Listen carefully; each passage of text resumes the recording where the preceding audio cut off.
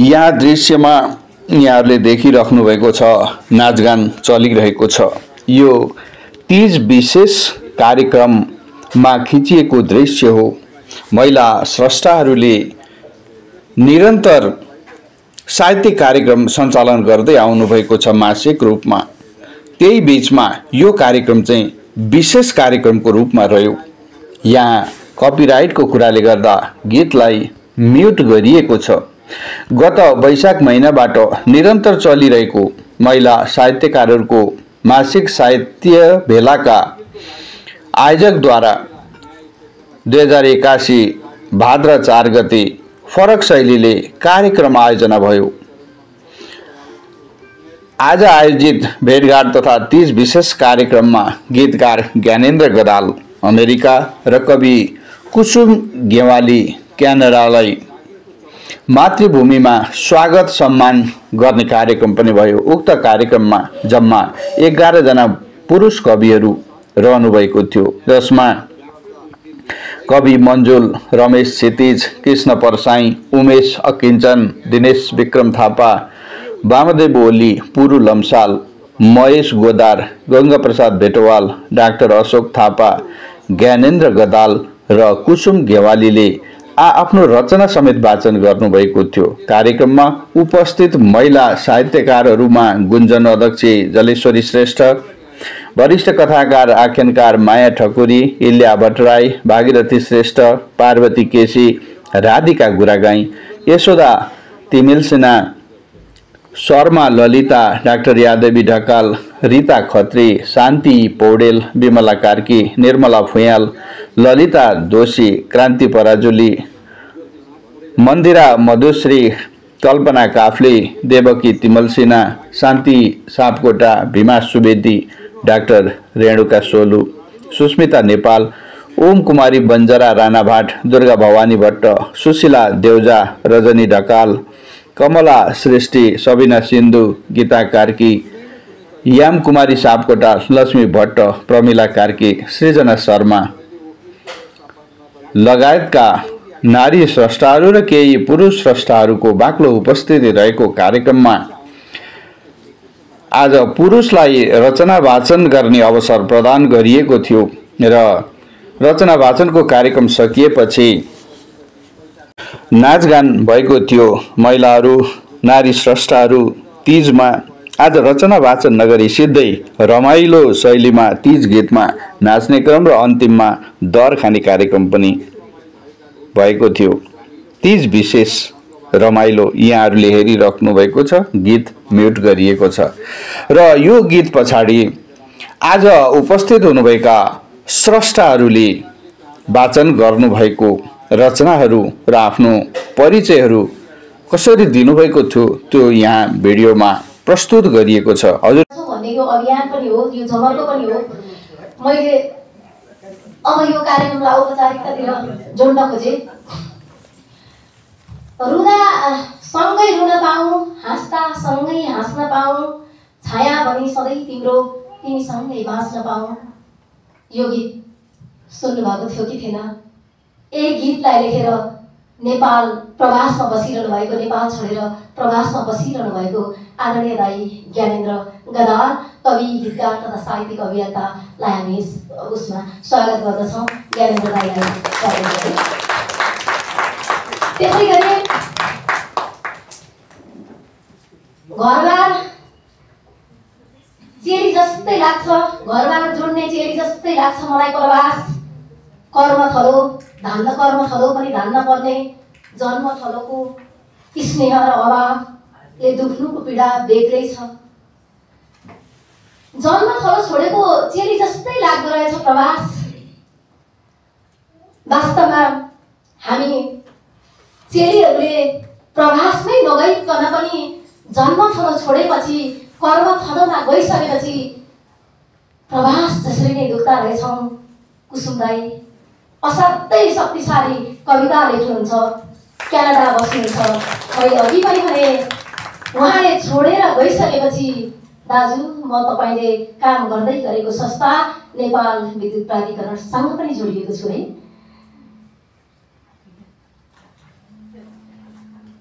यो कार्यक्रममा खादा माला र आसन ग्रहणका कुनै पनि कार्यक्रम हुने छैन। बरु हामी पाहुनाहरूलाई बोलाएर त्यो खादा माला र अनेकन अनेकन चिजहरूले जोड्ने कार्यक्रमहरूमा बरु हामी एक छाकसँगै खाने जमर्को गर्नेछौँ। खाना माला र यो स्वागत यो आतिथ्य र आत्मीयताले जोडिरहनेछौँ र अघि बसे जस्तै हामी सँगै खानेछौँ। त्यसै गरी यो कार्यक्रममा चाहिँ विगत साठी सत्तरी वर्षदेखि साहित्यलाई हाँकिरहनुभएका युगान्तकारी व्यक्तिहरूको आशीर्वाद आशीर्वाद पनि छ। मन्जुर दाईले मन्जुर दाई हामीसँग प्रत्येकचोटि जोडिनुहुन्छ। आदरणीय दाई मन्जुर दाईलाई मैले यस कार्यक्रममा स्वागत गर्छु। भागीरथी दिदी माया दिदी जलेश्वरी दिदी रेणुका सोलु दिदी दिदीहरू जो देखिरहेको छु ललिता दिदी उहाँहरूले त असाध्यै हामीलाई माया गर्नुहुन्छ। सधैँ सधैँ हामीसँगै हुनुहुन्छ उहाँहरूको आत्मीयतासँगै हामी हिँडिरहेका छौँ। यो आजको कार्यक्रम जसरी यो हामी जोडिरहेका छौँ।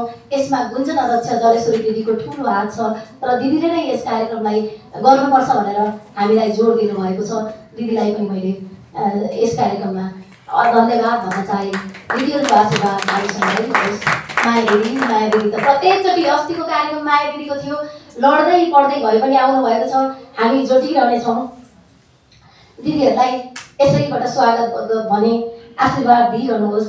हामीसँग अब आज मैले जोडेका थुप्रै नामहरू छन्।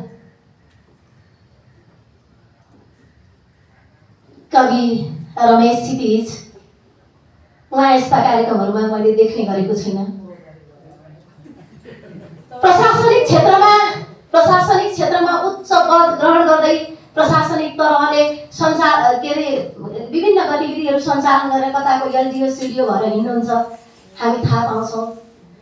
तर उहाँले देखिरहँदा तपाईँहरूले सुन्नुभएको छ नि नमाग मसँग सहारा नमाग भुइँको धुलो आकाशका जुन तारा उहाँले नै गाइरहनु भएको छ होइन। दसैँ सम्झे तिहार सम्झे सम्झे अरू चाडहरू नाग्नै गाह्रो भयो मलाई अग्ला अग्ला पहाडहरू। त्यस्ता त्यस्ता गीतहरू सृजना गरेर यो मन मुटु र झङ्कारमा जोडिरहने आदरणीय दाइ रवि क्षितिजलाई पनि यहाँ कार्यक्रममा स्वागत भन्ने त्यसै गरी हामीले यो कार्यक्रममा चाहिँ साहित्यिक संस्थाहरू जस्तो बिरामी भएर बिरामी भयो भन् भने भनिन्छ भन्छौँ नि हामी। अनि त्यहाँदेखि हामी त्यो ल सहयोग गर्नु पऱ्यो भन्छौँ। सहयोग गर्ने को हुनुहुन्छ त? प्रवासी साहित्यकारहरूले हुनुहुन्छ। तर उहाँहरू नेपाल आउँदा हामी चाहिँ थाहा नै पाउँदो रहेनछौँ क्या। आज हामी भरसक मैले यहीँबाट भनिरहेको छु विदेश बस्ने प्रवासी साहित्यकारहरू जो जो हुनुहुन्छ यदि हाम्रो सम्पर्कमा आउनुहुन्छ भने हामी एक प्रकारले नेपाल आउँदा यस्तो किसिमको कार्यक्रमहरू अबदेखि भने गर्नेछौँ। जो आए पनि हामीलाई जानकार भयो भने है। ताई मैले यहीँबाट भने। प्रवासमा बसेर नेपाली साहित्यको उचाइ थपिरहने साहित्यकारहरूसँग हामी निरन्तर जोडिरहनेछौँ। बिना अपेक्षा केवल आत्मीयताको नाताले यसरी नै जोडिनेछौँ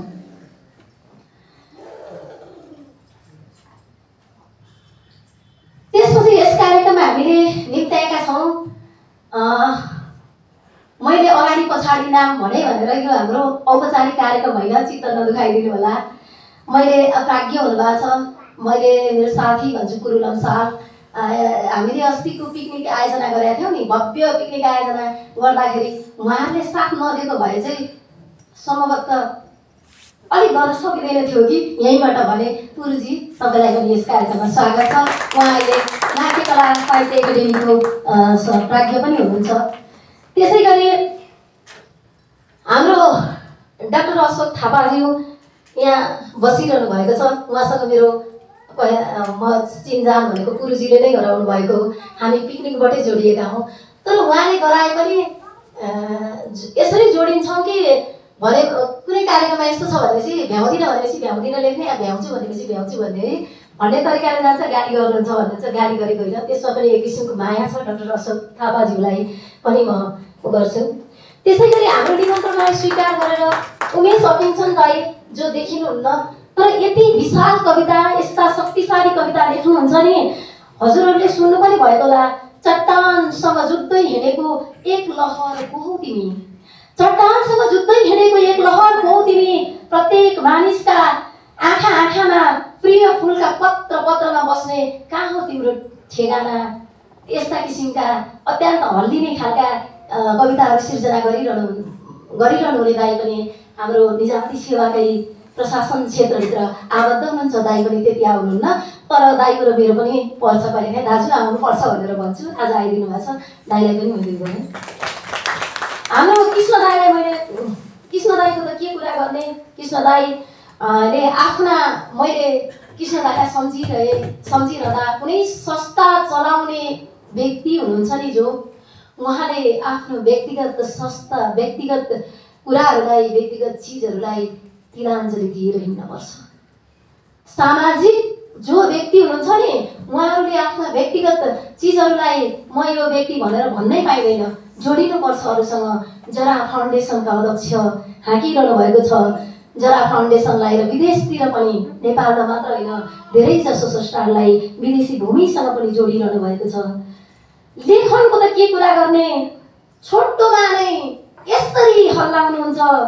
जसले जिउँदै जिउनु हुँदै रोइरहेको थियो जसले जिउनु हुँदै रोइरहेको थियो ऊ बेफिक्री जलिरहेको थियो फरक जलाउनेहरू रुँदै थिए भन्नुहोस् यो काव्य हो कि महाकाव्य योबाट तपाईँहरूले यतिलाई विषय लिएर हामीसँग महाका काव्यहरू पनि उपन्यासहरू यस्तो जन्मिन सक्छन् त्यस्तो लेख्ने आदरणीय दाईसँग दस वर्ष पछाडि दस वर्षको ग्याप पछाडि जोडिने अवसर पाएको छु। दाजु कृष्ण प्रसाद दाईलाई मैले स्वागत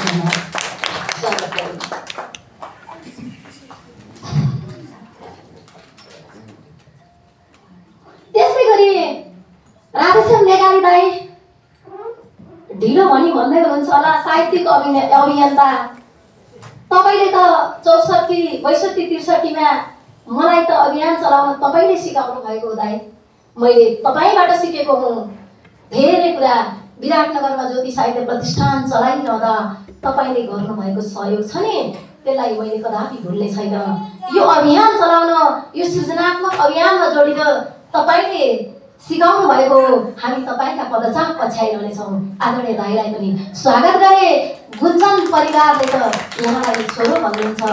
हाम्रो दिदीले सुरुमै सम्झिनुहुन्छ राधेश्याम दाई साहित्यिक अभियन्ता लेखक दाईलाई स्वागत त्यसै गरी दिनेश विक्रम थापा दाई कता दिनेश विक्रम थापा दाईलाई देखिरहेको छु आज मैले नै यस कार्यक्रममा आउनु भनेर निम्ति आएको थिएँ दिनेश दाई सम्भवतः दस वर्षको लामो अवधिपछि हामी भेटिएका छौँ यसरी नै मञ्चमा तताउँदै गएर हिँड्दा यहाँ पनि त हामीले ज्योति साहित्य प्रतिष्ठानलाई चलाउने अभियान चलायौँ दाईसँग मेरो झगडा भयो।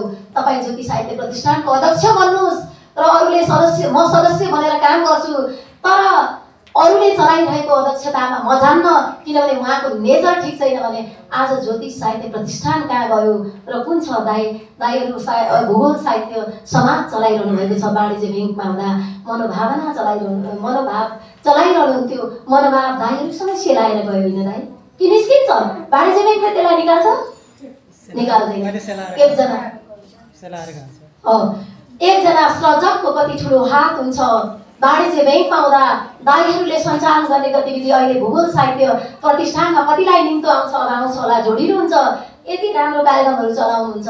दाईको त मैले र समय रक्त स्नान गरिरहेको छ जस्ता व्यक्ति विविध कार्यक्रमहरूमा मैले नै उद्घोषण गरेको थिएँ। अब त धेरै वर्ष भयो उद्घोषण गर्ने कला पनि बिर्सिएछ दाई दाईलाई पनि मैले यस कार्यक्रममा स्वागत गरेँ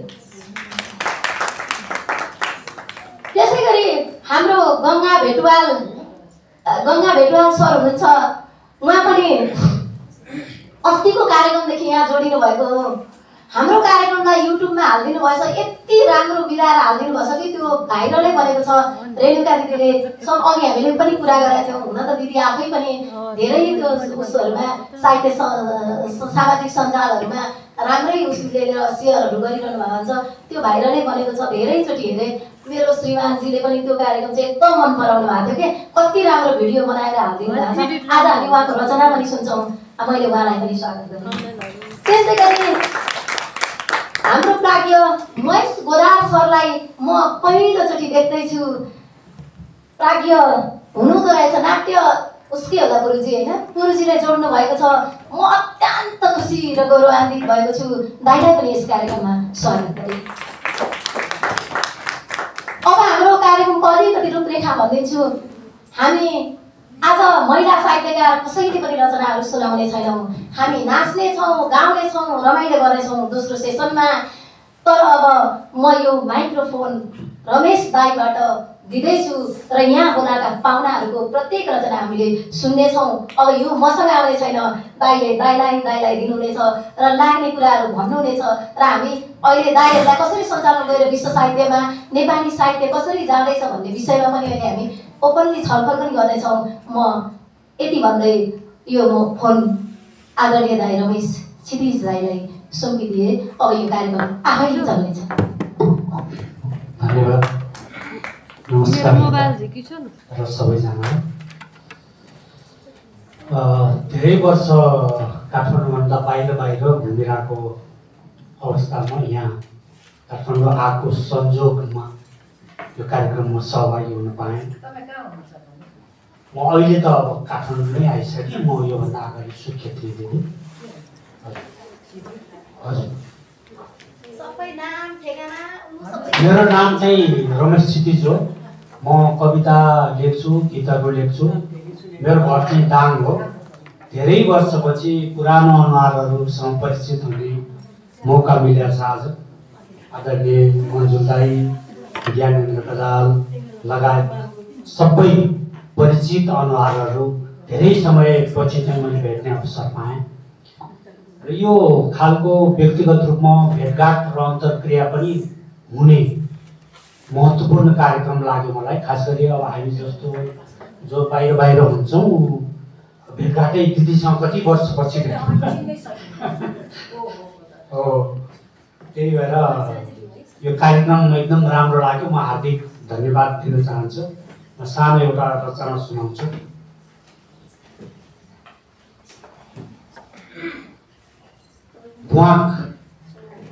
यो मेरो पछिल्लो कविता सङ्ग्रह अघिल्लो वर्ष निस्केको थियो पर्वत पर्वतमा बटुवा घाम यो सङ्ग्रहमा एउटा कविता छ छोटो कविता म सुनाउँछु। कविताको शीर्षक प्वाक भर्खरै घाम झुल्केको कलिलो बिहानमा कुनै दिन झ्याल बाहिर फुलेको आरुको बोटमा पहिलोपल्ट देखिएको हो त्यो सुन्दर पंक्षी भर्खरै घाम झुल्केको कलिलो बिहानमा कुनै दिन झ्याल बाहिर फुलेको आरुको बोटमा पहिलोपल्ट देखिएको हो त्यो सुन्दर पंक्षी। यसपछि भेटिन्थ्यो ऊ खेल्दै गरेको। कौशिका कुना कुनामा पेटी बारदरी र पर्खालमा कहिले उफ्रिँदै भुर्र भुर्र कहिले सुनाउँदै कलरब चिरबिर चिरबिर। बिहानै बिहानै बिहानै बिहानै चुच्चोमा च्यापेर अनाजका दाना नाची हिँड्थ्यो रुखका हाँगा हाँगामा खेल्दथ्यो मस्त आफ्नै लयमा। क्रमशः यसरी क्रमशः यसरी बनेर दैनिकीको अभिन्न भाग महिनौसम्म देखाएर अनेक लीला अचानक एक दिन कहाँ हो कहाँ हरायो। अचानक एक दिन कहाँ हो कहाँ अचेल घरि यता घरि उता बतासको झोकासँगै उडिरहन्छ। एउटा सुनौलो प्वाक धन्यवाद।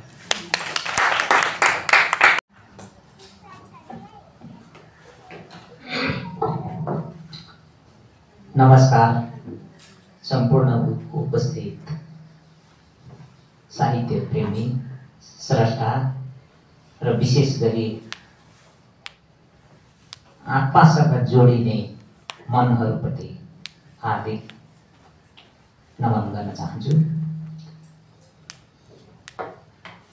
जननी जन्मभूमिश्च स्वर्गादपि गरियसी यो अत्यन्तै मार्मिक र सत्यमा आधारित पङ्क्तिप्रति मेरो अगाध श्रद्धा। छ। मैले यो यस मानेमा पनि उद्धृत गर्न चाहेको छु कि यसपालि म स्वर्गभन्दा माथि रहेको त्यो दुईवटा चिज मध्ये एउटाबाट टाढा भएको छु। भर्खरै मात्र मेरो मुवा स्वर्गवास हुनुभएको छ। तथापि सँगसँगै मान्नुपर्ने जननी जस्तै मेरो जन्मभूमिप्रति म सधैँ आभारी छु। दिनचर्याको निम्ति जीवनयापनको निम्ति संसारको जहाँ भए पनि जहाँ रहे पनि हामीले यी दुई चिज हाम्रो मुटुबाट बाहिर निकाल्न सक्दैनौँ र म पनि त्यसको त्यसमा मानेमा अलग रहन सकेको छैन। र आज जसरी यहाँ आयोजक साथीहरूले यो मौका दिनुभयो हामी टाढा रहे पनि अघि रमेशजीले भन्नुभयो रमेशजी मेरो अत्यन्तै परम मित्र हुनुहुन्छ। जति बेला हामी लेखनकै निम्ति पनि सङ्घर्षरत थियौँ त्यति बेलाको मेरो साथी हुनुहुन्छ उहाँ। हामी पैदल हिँडेर दिनमा एकपल्ट रेडियो नेपालमा भेट हुने गर्थ्यौँ। त्यो सङ्घर्षको बेलाको मित्रता पनि आज यहाँ मैले मेरो नजिकमा भेटेको छु। अत्यन्तै खुसी छु र मेरो मैले अत्यन्तै आदर गर्नुपर्ने व्यक्तित्वहरू मेरो वरिपरि हुनुहुन्छ जसलाई हामीले आदर्श मानेर यो सिर्जनाको यात्रामा अगाडि बढेका हौँ। उहाँहरूप्रति सदैव सधैँ जस्तो नै मेरो हार्दिकता र सम्मान रहेको छ। दिदीहरू दाईहरूप्रति मेरो सधैँ एक नाचको सम्मान मैले लिएको छु। हामी जहाँ भए पनि जहाँ रहे पनि हामीलाई जोड्ने भनेकै यो सिर्जना र कलाले नै रहेछ। आज हामी यहाँ जति भेला भएका छौँ त्यति चाहिँ हामी राजनैतिक कर्मीहरूको बिचमा यदि भएको भए यति प्रफुल्ल र आनन्दमय हामी यसरी बस्न सक्थ्यौँ होला जस्तो मलाई लाग्दैन। एकअर्कामा भएको चिज पनि तोडिने अवस्था अरू अरूले गर्छन् भने तोडिन आँटेकालाई पनि जोडिने र जोड्ने काम चाहिँ यो सिर्जनाले र साहित्यले नै गर्दो रहेछ। यहाँहरूले दर्शाउनु भएको माया प्रेम प्रति अत्यन्त भाव विभोर रहँदै मेरो एउटा दुईवटा सिर्जना यहाँहरूलाई सुनाउने अनुमति चाहन्छु। म विशेष त गीत लेख्न रुचाउँछु मैले कविता लेखेँ भने पनि कविता पनि लेख लेख्छु तर कविता लेखेँ भने पनि त्यो घुम्दै फिर्दै गीतमै भएर टुङ्गिन्छ। त्यस कारणले यो एउटा आफ्नो हुँदो रहेछ। त्यस कारणले म छोटो छोटो हुन्छ सुन्नेलाई पनि बोर नलाग्न सक्छ। त्यस कारणले म दुईवटासम्म गीत सुनाउने अनुमति चाहन्छु।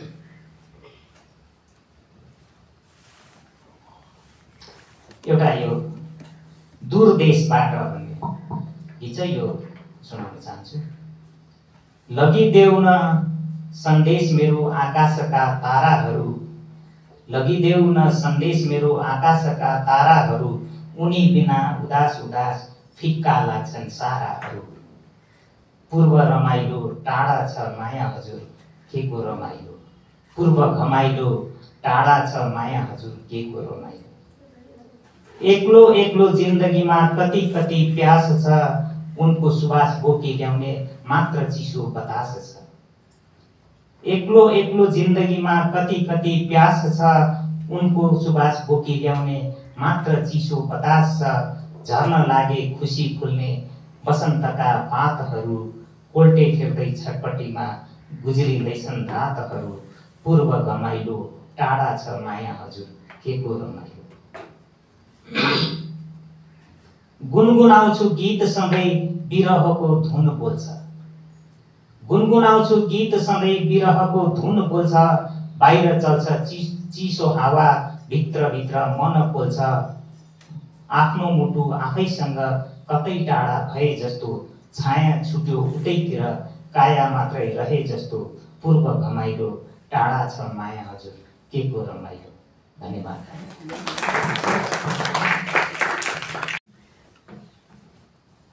अघि सुरुमै रिताजीले मेरो एउटा गीतको पहिलो स्थायी वाचन गरेर जानुभयो त्यसलाई पुरा गर्ने अनुभूति चाहन्छु सङ्गीतको मोह। फुलमा देख्छु तिमीलाई जुनमा तिमीलाई देख्छु म त मुरलीको धुनमा तिमीलाई। म रमाउने संसारको बलियो आधार तिमी मेरो मनलाई खुसी दिने अटल प्यार तिमी दिनमा देख्छु तिमीलाई रातमा तिमीलाई देख्छु म त सधैँ मेरो साथमा तिमीलाई। तिमी नजिक भइदिँदा जुन फिक्का लाग्छ। तिमी नजिक भइदिँदा जुन फिक्का लाग्छ सारा दुःख बिर्सिन्छु म बाँच्ने रहर जान्छ प्रीतमा देख्छु तिमीलाई गीतमा तिमीलाई देख्छु म त बिहानीको शीतमा तिमीलाई। फुलमा देख्छु तिमीलाई जुनमा तिमीलाई देख्छु म त मुरलीको धुनमा तिमीलाई। धन्यवाद।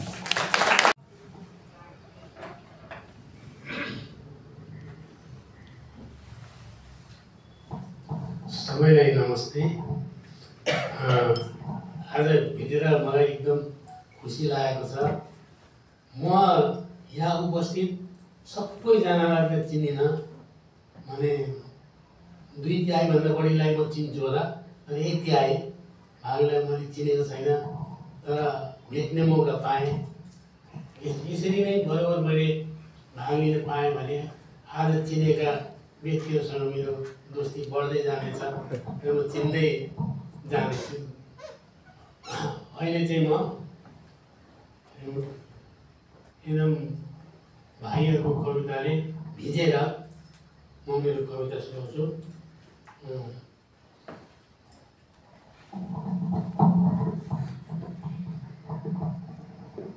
तपाईँलाई कविता सुनाउनु नै एउटा कविता हो जस्तो लाग्छ मलाई मैले चाहिँ यो म पाहाडमा जन्मेको हुँ।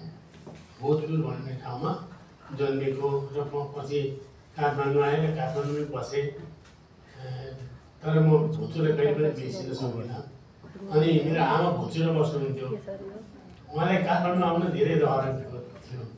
पशुपतिनाथको मन्दिरमा जाने दर्शन गर्ने होइन? अनि मैले चाहिँ म सानै थिएँ त्यतिखेर भर्खर जागिर त खाँदै थिएँ तर आमालाई मैले त्यस्तो छिटै ल्याइहाल्नुपर्छ भन्ने मैले सोचिनँ। आमा धेरै बाँच्नुहुन्छ भन्ने थियो तर त्यस्तो हुन सकेन। आमा अलिक खस्नु भयो मैले आउन कहाँ पाउनु भएन। तर मलाई आमालाई कसरी काठमाडौँ ल्याउनुपर्छ भन्ने त्यस्तो त्यो चाहिँ मनमा आएर मैले यो कविता लेखेको। आमालाई काठमाडौँ ल्याउन कोठा मात्र ल्याएर पुग्दैन घरै ल्याउनुपर्छ घर मात्र ल्याएर पुग्दैन दलान बलेसी आँगन र कोठेबारी पनि ल्याउनुपर्छ बाटो ल्याउनुपर्छ घर छेउको लाकुरीको बोट ल्याउनुपर्छ माथिल्लो घर पल्लो घर ल्याउनुपर्छ। मूल बाटो र बाटो मुनिको रिक्खाबाको घर पनि ल्याउनुपर्छ। कार्की गाउँ मेरो प्राइमरी स्कुल जाने बाटो ठुलो बरको बोट बाँस घारी तिस घारी सुगाका पठान रुपी भँगेरा गौथली काग परेवा र बारीमा हेराएको देखिने ढुकुर पनि ल्याउनुपर्छ। घाम जुन आकाश इन्द्रेणी इन्द्रसभा सबै तारा र ग्रहहरू ल्याउनुपर्छ आमालाई काठमाडौँ ल्याउन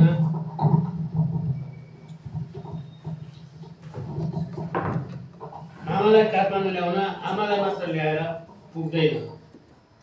आकाशमा गाई भैँसी बाख्राहरू उडेको देखेका छौ। सिमी बोडीसँग मगेका हरिया बोटहरू उडेको देखेका छौ। खेत र लहला धान उडेका देखेका छौ। रानी बन्द चुच्चे ढुङ्गा उडेको देखेका छौ। लिएका छौँ सारा गाउँलेहरू उडेको हो त्यही हो। काठमाडौँ आउनु साँझको बेला आमा एउटा ढुङ्गे धारो रुँदै रुँदै दिएर आमा।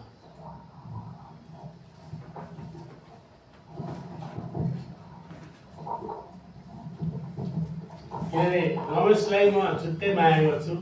त्यो नाताले माया गर्दिनँ। तर कस्तो भने रमेशको थर नेउपाने रहेछ है? अनि मेरो आमाको थर मेरो आमा जन्मेको पनि नेउपानेको घरमा नेउपाने अनि मलाई रमेशसँगको त्यो नाता भिन्दै छुँदो रहेछ कि कस्तो पापी मन।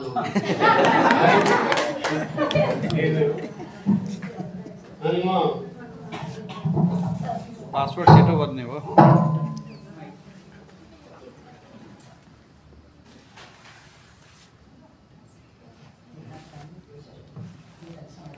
बसेर गर्दा पनि हुन्छ बसेर गर्दा हुन्छ राम्रो सजिलो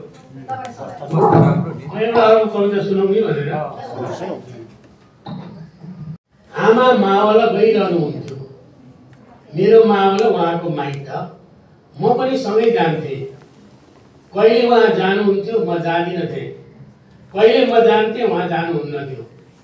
बाटाहरू चाहिँ हामी गए पनि नगए पनि मावला गइरहन्थे अहिले आमा हुनुहुन्न। म पनि हुने छैन एक दिन तर यी बाटाहरू अहिले जस्तै पछि पछि पनि हुनेछन् पछि पछि पनि गइरहनेछन् मावल। हामीलाई नसम्झने निष्ठुर बाटाहरू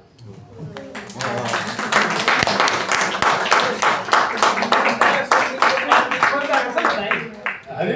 रमेश दाईको माया लाग्नु कारण। भनेको कि? यो नराखेर भनेको। म सबैलाई माया गर्छु। तपाईँहरू तपाईँहरू त मेरो के भने? श्रोताहरू श्रोता भन्ने मतलब ज्ञानु बहिनीको किताब छ जीवनको अभिनन्दन भन्ने है। त्यसमा उहाँले प्रश्न लेख्नु भएको छ कि लेखकभन्दा पाठकले दोस्रो दर्जाको होइन उही नै दर्जाको हो भनेर है। त्यसो पाठक तपाईँहरू पाठक हो। तपाईँहरू एकदम उदास श्रद्धा छ मेरो मनमा। तर मलाई रमेशले म नेपालीको छोरा भन्दाखेरि मरिजानु खोज्नु भएको कस्तो भयो कस्तो भयो। यस्तो हुन्छ। के अरे हामीलाई मात्रै माइतीका कुकुर पनि प्यारा हुन्थ्यो नि। आखिरी मायालाई हुँदो रहेछ नि। त्यति कुरा चाहिँ थाहा भयो। अब हामी अघि पनि मैले भने यो बाइक मैले अहिले लिने थिइनँ। हामी प्रत्येक महिला साहित्यकारहरूले आज तिस बिस तिजको कार्यक्रम मनाउनेछौँ। र हामी कुनै सिर्जना वाचन गर्ने छैनौँ। दिदीले म यहाँ जलेश्वरी दिदीसँग छु। दिदी यो यसरी नै घुम्छ। यो बाइक चाहिँ यसरी नै घुम्छ। दिदीले आफ्नो मन्तव्य राखिदिनुहुन्छ। दिदीले नै यो कार्यक्रम गर्नुपर्छ भनेर दिदीकै बलबुताबाट यो कार्यक्रम आयोजना भएको छ। दिदीले सा सा छोटो मन्तव्यसहित आफ्नो परिचय राखिदिनुहुन्छ र परिचय दिँदै यो बाइक यसरी घुम्छ है। परिचय दिँदै सबैले आफ्नो आफ्नो परिचय चाहिँ दिन दिने। होइन। परिचय दिँदै उहाँको पालामा पाठ गर्न पाइए सिद्ध्याएर गर्ने हुन्छ ओके त त्यसो भए सिद्ध्याएर गरे नि हुन्छ नत्र घुम्दै गरे पनि केही गरेन हजुर नमस्कार म कुसुम परिचय अलिकति भनिसक्नु वैदेशिक रोजगारीमा छु म यसरी जुट्ने अवसर यसरी भौतिक रूपमा यसरी कार्यक्रम गरेर जुट्ने अवसर चौध वर्षपछि जुट्यो मलाई आज।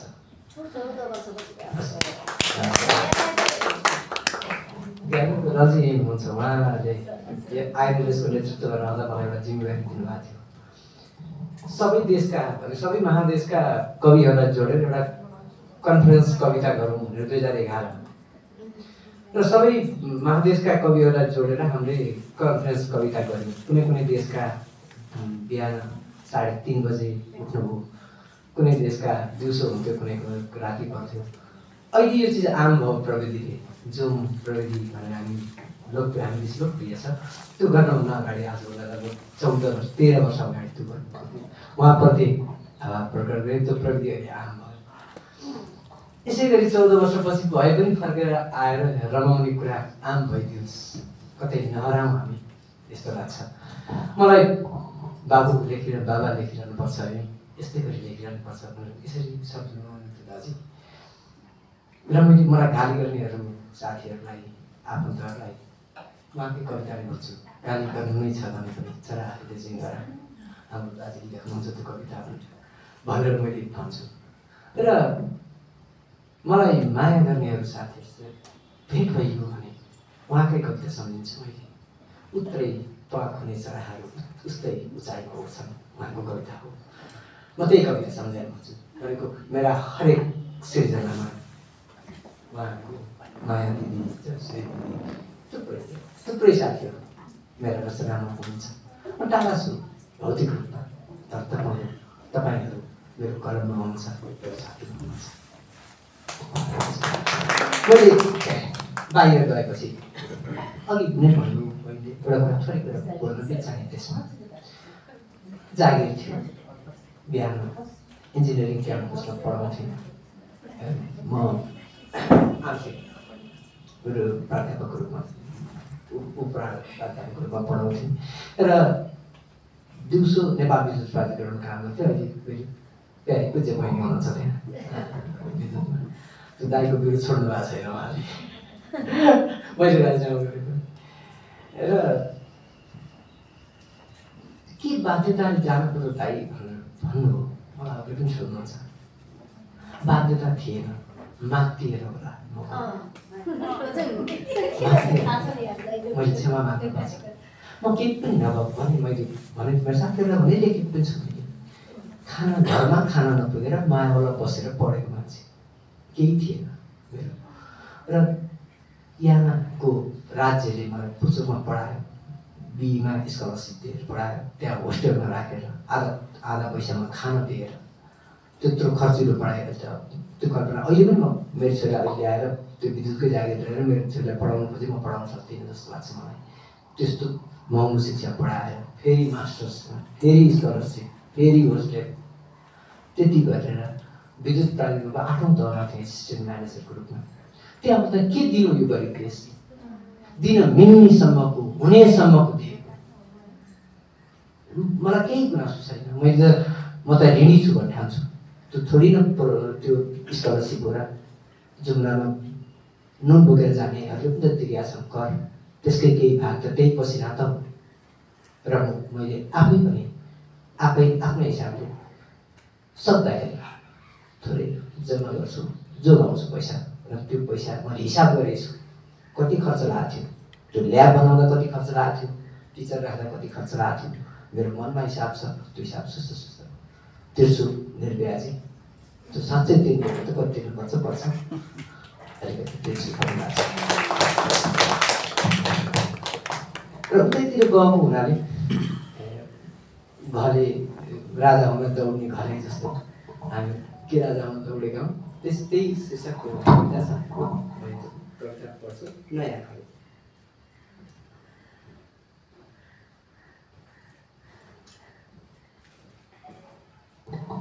बोकेर रुमानी सम्राट सपना। बोकेर रुमानी सम्राट सपना छिचोल्दै दुःखका उकालीहरू दौडिँदै दौडिँदै आएका छन्। काला वा गौँ गोरा लिखलिकहरूबाट नयाँ घलेहरू उत्तर अमेरिका। म चमेना गृहको जुठेलोमा चमेना गृहको जुठेलोमा म वा तन्दुरको तातो भट्टीमा फलामे गाडामा तान्दै परिबन्ध बाध्यताको अचङ्ग भारी खोजिरहेछन् एउटा चेपेको किनार जहाँबाट सुरु गर्नसम्म सकियोस् एउटा मोटपट्टा इतिहासको लम्बे ऐतिहासिक दौड हराएको पहिचान माग्दै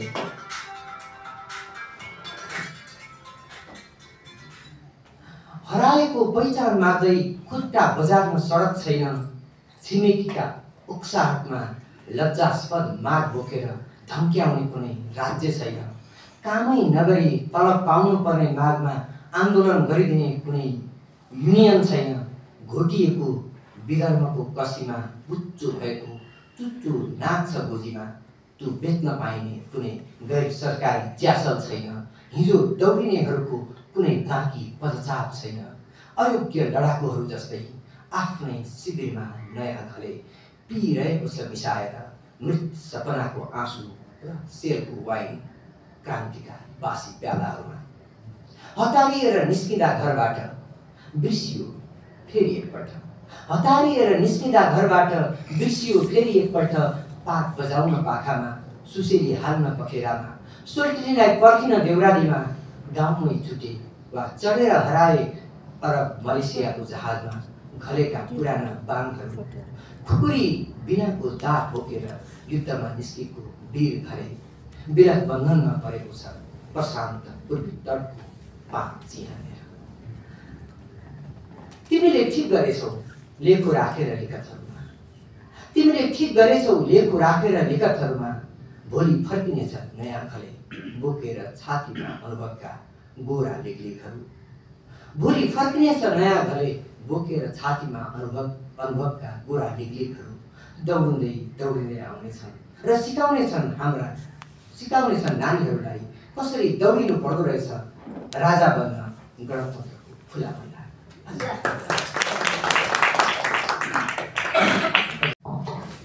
हेलो।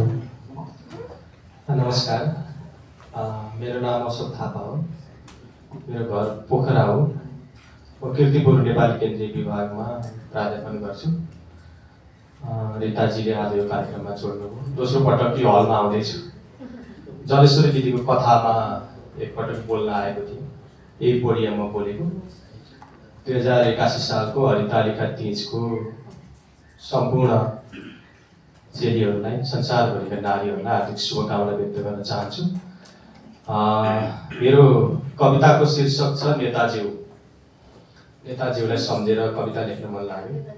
दुई हजार चौसठी सालपछि मैले भोटिङ गरेको छैन। भोटै हाल्न मन नलाग्ने किन हो थाहा छैन। जाने तर भोट नहाल्ने त्यो एकदम विधिना जस्तो भयो अनि मैले एउटा कविता लेखेँ। अनि पहिलेको कविता हो। कविताको शीर्षक छ नेताज्यू। नेताज्यू ढुक्क हुनुहोस् तपाईँकै चिन्हमा लगाइदिनेछु स्वस्तिक छाप नेताज्यू ढुक्क हुनुहोस् तपाईँकै चिन्हमा लगाइदिनेछु स्वस्तिक छाप किनकि बानी लागिसक्यो छाप लगाउने। यही हिउँदोमा आमाको इलाज गर्न ल्याप्चे छाप लगाइदिए खलो घरमा यही साल आमाको इलाज गर्न ल्याप्चे छाप लगाइदिए खले घरमा अस्ति श्री पञ्चमीको दिन बडामाला किन्न छोरीलाई औँठा छाप लगाइदिए सहकारीको तमसुकमा बडो मुस्किलले उदासीन भएर हिजै पासपोर्टमा छाप लगाएर तम तयार छु। बडो मुस्किलले उदासीन भएर हिजै पासपोर्टमा छाप लगाएर तम तयार छु तर्नको लागि समुद्र। सायद अर्को चुनावमा त च्यातेर वंशजको लिखत सायद अर्को चुनावसम्म त च्यातेर वंशजको लिखत म दूर देशको शरणार्थी भइसक्छु होला त्यसैले नेताज्यू। यसै पटक लैजानु बाकसभरि बन्द गरेर मेरा एक अन्जुली खुसी प्रिय नेताज्यू यसै पटक लैजानु बाकसभरि बन्द गरेर मेरा एक अन्जुली खुसी। धन्यवाद। जरा फाउन्डेसनको अध्यक्ष अहिले। जरा फाउन्डेसनले विगतका दस पन्ध्र वर्षदेखि स्वदेश र ज्यादातर विदेशमा धेरै साहित्यिक कार्यक्रमहरू गरिराखेको छ। यस क्रममा धेरै पाँच सातवटा देशमा मैले नेपालको प्रतिनिधित्व गरेर साहित्यिक कार्यक्रमहरू गरिसकेँ। र नेपालमै पनि बेला मौकामा वर्षमा दुई चारवटा साहित्यिक कार्यक्रमहरू गर्छु। विशेष त म कविता नियात्रा र पछिल्ला दिनहरूमा जेन कविता अघि हाम्रो रिताजीले भर्खर भन्नुभयो। धेरै छोटा छोटा कविता यो जेन चाहिँ कविता जेन कविता चाहिँ ध्यान कविता नेपालमा ध्यान ध्यान कविता भनिन्छ विदेशतिर जेन कविता भनिँदो रहेछ र यो नेपालबाटै गएको रहेछ। इस्वीको सातौँ शताब्दीमा वेन्साङ र वान वेन्चेले लुम्बिनीको भ्रमण गर्दाखेरि ध्यान सिके बुद्धको र त उनीहरूले चाइनामा लगिसकेपछि ध्यान भन्न सकेनन् जानेनन् उनीहरूले च्याङ भए। त्यही अपभ्रंश भएर जापानमा गएर जेन भयो। त्यही जेन कविता मैले अहिले लेख्दैछु। र जेन कविता अहिलेसम्म मैले दुईवटा सङ्ग्रह प्रकाशित गरिसकेको छु। यही जेन कविताबाट छोटा कविताहरू हुन्छन्। म यहाँहरूसँग वाचन गर्न गइरहेको छु। मेरो पहिलो कविता मेरो बस्ने घर मैले आफै बनाएँ। ऊ निर्जीव थियो। म सजीव थिएँ। एक दिन उसले आफ्नै ढोकाबाट निर्जीव बनाएर मलाई नै निकाल्यो।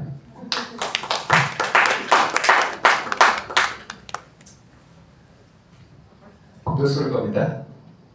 कस्तो कमजोर छ मान्छे। कस्तो कमजोर छ मान्छे ऊ आफैले खिचाएको कागजको फोटो जति पनि बाँच्न सक्दैन। यो सङ्ग्रहको अन्तिम। जमिन हाँस्यो आफूलाई किनेको आयु सम्झेर। जमिन हाँस्यो आफूलाई किनेको आयु सम्झेर। मेरो दोस्रो कविताको सङ्ग्रहको दुई एउटा दुईटा कविता म यहाँहरूसँग यो यो अघिल्लो कविता सङ्ग्रह घामको वर्षा। घामको वर्षा संसारका चौबिसवटा भाषामा किताबी रूपमा आइसकेको छ। यो चाहिँ यो पछि दोस्रो जैन कविता सङ्ग्रह घामको आयो हिन्दी नेपाली र श्रीलङ्कन भाषामा प्रकाशित छ। र यसको पहिलो कविता म सुनाउँदैछु। असङ्ख्य प्रहारहरू सहँदै असङ्ख्य प्रहारहरू सहँदै ढलिरहेको रुखलाई थाहा थिएन उसलाई ढाल्ने बन्जरको भिड उसकै हाँगाबाट निर्मित थियो।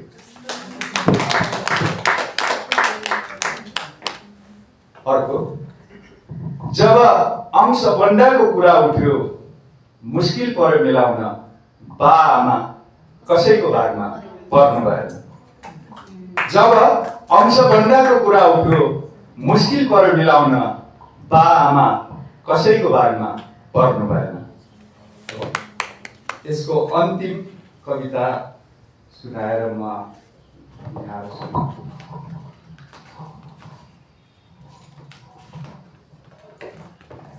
तिमी भुइँमै बस्छ तिमी भुइँमै बस्छ भुइँमा बस्दा लड्ने डर हुँदैन।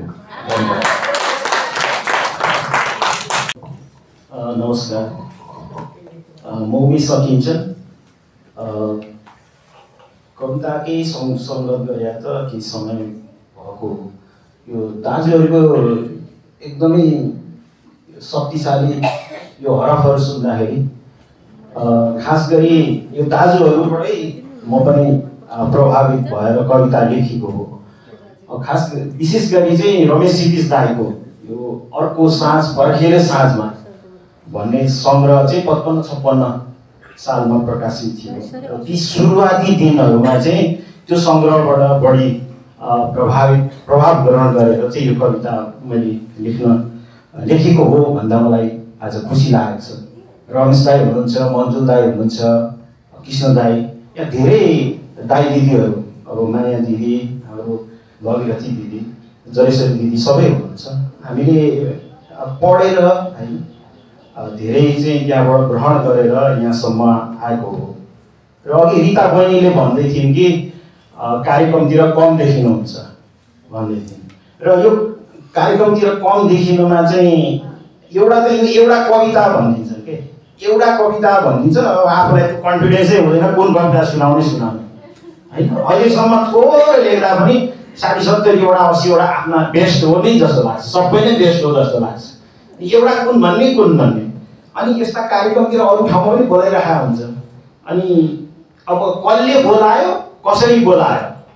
त्यो चाहिँ म चाहिँ आफू त्यो ख्याल गर्छु। र धेरै ठाउँमा बोलाउँछन् अब त्यस्तै किसिमले बोलाउँछन्। तर रिता बहिनी र हाम्रो सम्बन्ध भनेको झन् विराटनगर हामी यहाँ विराटनगरको हामी केही दिदीबहिनीहरू हुनुहुन्छ। र रिता पनि हामी त्यही विराटनगरको हामी त्यसको उत्पादन हो हामी त्यसको सरसङ्गत हो।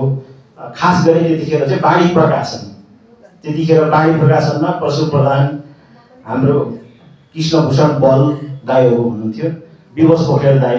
उहाँको छत्र छायामा चाहिँ हामीले वास्तवमा त्यो त्यो पछिका जेनेरेसनहरू हामी म आफू त भन्दिनँ तर हामी र हाम्रा अगाडि पछिल्लाका कविहरू यो अहिले धेरै सबै नै प्रायः स्थापित हुनुहुन्छ है। र यति कुरा राखेर मैले अब यसो भन्दा भन्दै फेरि मलाई आफैलाई पनि अलिकति यो आज चाहिँ यो पुरुष साहित्यकारहरूको मात्रै सुन्ने भन्दाखेरि हुन्छ रिता आफै उसको नेचर के हो भने मैले चिन्छु अलिक बागी बागी type. Anti current anti current उसले बग्छ उसको त्यो खालको चाहिँ होइन उसलाई मैले धेरै सानैदेखि देखेको हो चिनेको हो। त्यस कारणले उसले सायद यो अलिकति हामीलाई यो पुरुष साहित्यकारहरूलाई एउटा उदारताका साथ यो ठाउँ पनि दिएको होला। अथवा चेलीको माइतीप्रतिको एउटा सम्मान को रूपमा मैले लिएको छु र यहाँहरू सबैलाई यो तिजको चाहिँ हार्दिक शुभकामना व्यक्त गर्छु। र मैले आफैलाई भनिहाल्छु यो मैले लेख्ने कविताहरू चाहिँ विभिन्न सरल अप्ठ्यारो सेमी स्ट्र्याक सबै स्ट्रकहरू चलाउँछु। र अहिले आफ्नो अब सफाइ दिन पाइयो नि त यो कविता अलिकति सेमी सेमी फर्ममा छ सेमी अब्स्ट्राक्ट फर्ममा र आफ्ना साहित्यकारका केही उहापुहाहरू जस्ता पनि लाग्न सक्छन्। यो कविताको शीर्षक अनन्त आलापहरू।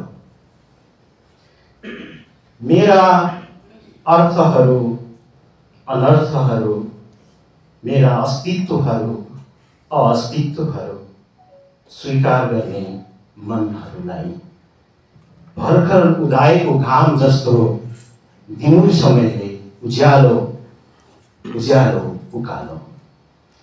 मेरा अर्थहरू अनर्थहरू मेरा अस्तित्वहरू अस्तित्वहरू स्वीकार गर्ने मनहरूलाई भर्खर उदाएको घाम जस्तो दिनु छ मैले उज्यालो उकालो हुन त Hemingway हाइवेमा man can be destroyed but not be defeated siren बजाउँदै दौडिए पनि तिमी नभएको भए म मानिस हुने थिइनँ।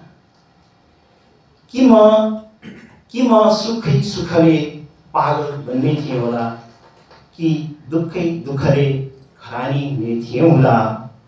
आज छु म काँडा सहितको गुलाब जस्तो फुलेको तिमी मलाई माया गर वा घृणा गर तर कृपया निषेध भने नगर तिमी मलाई माया गर वा घृणा गर तर कृपया निषेध भने नगर।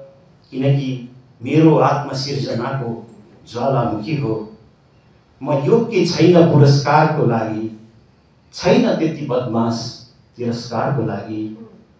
जङ्गली हात्तीका हुलहरू किन पछि पछि सर्छको पृथ्वी प्रस्थानको सूर्य सडकमा म टाँगिरहेछु विरोधको ब्यानर विरुद्ध न्यायका नार्कोटिक काला कानुनहरू म योग्य छैन पुरस्कारको लागि छैन त्यति बदमास तिरस्कारका लागि जङ्गली हात्तीका हुलहरू किन पछि पछि सर्जकको पृथ्वी प्रस्थानको सूर्य सडकमा म टाँगिरहेछु विरोधको ब्यानर विरुद्ध न्यायका नार्कोटिक काला कानुनहरू। देउकोटा बोल्छन् कुन मन्दिरमा जान्छौ यात्री कुन मन्दिरमा जाने हो? मन्दिर मस्जिद चर्च र बिहार पुगे पनि खोज्दै खुसीको मृदुल अनुहार अक्षर अक्षर अक्षर भएर अडिनै छ जीवनका मुन्धुम जो म तिमी र हामी खोजिरहेछौँ वर्षौँदेखि डब्लुएच अर्डेन सम्झाउँछन् पोइट्री मेक्स नथिङ ह्यापन उही हुलियाको लती। बिना सङ्कोच निरन्तर हिँडिरहेछु प्रेमको एकतर्फी बाटो मागेको छैन मुटु ढुकढुकी चलिरहने सम्झना मात्र दिए पुग्छ। सम्भव भए स्वीकार गर। तिमी जस्तै सुन्दर तिम्रा आँखाहरूमा खुबै सुहाउनेछ खुबै। भर्खर उदाएको घाम जस्ता क्षितिजमाथि क्षितिज मुनि फैलिने बिम्बै बिम्बका सपनाहरू। धन्यवाद। नमस्ते मेरो नाम सारिज मौडेल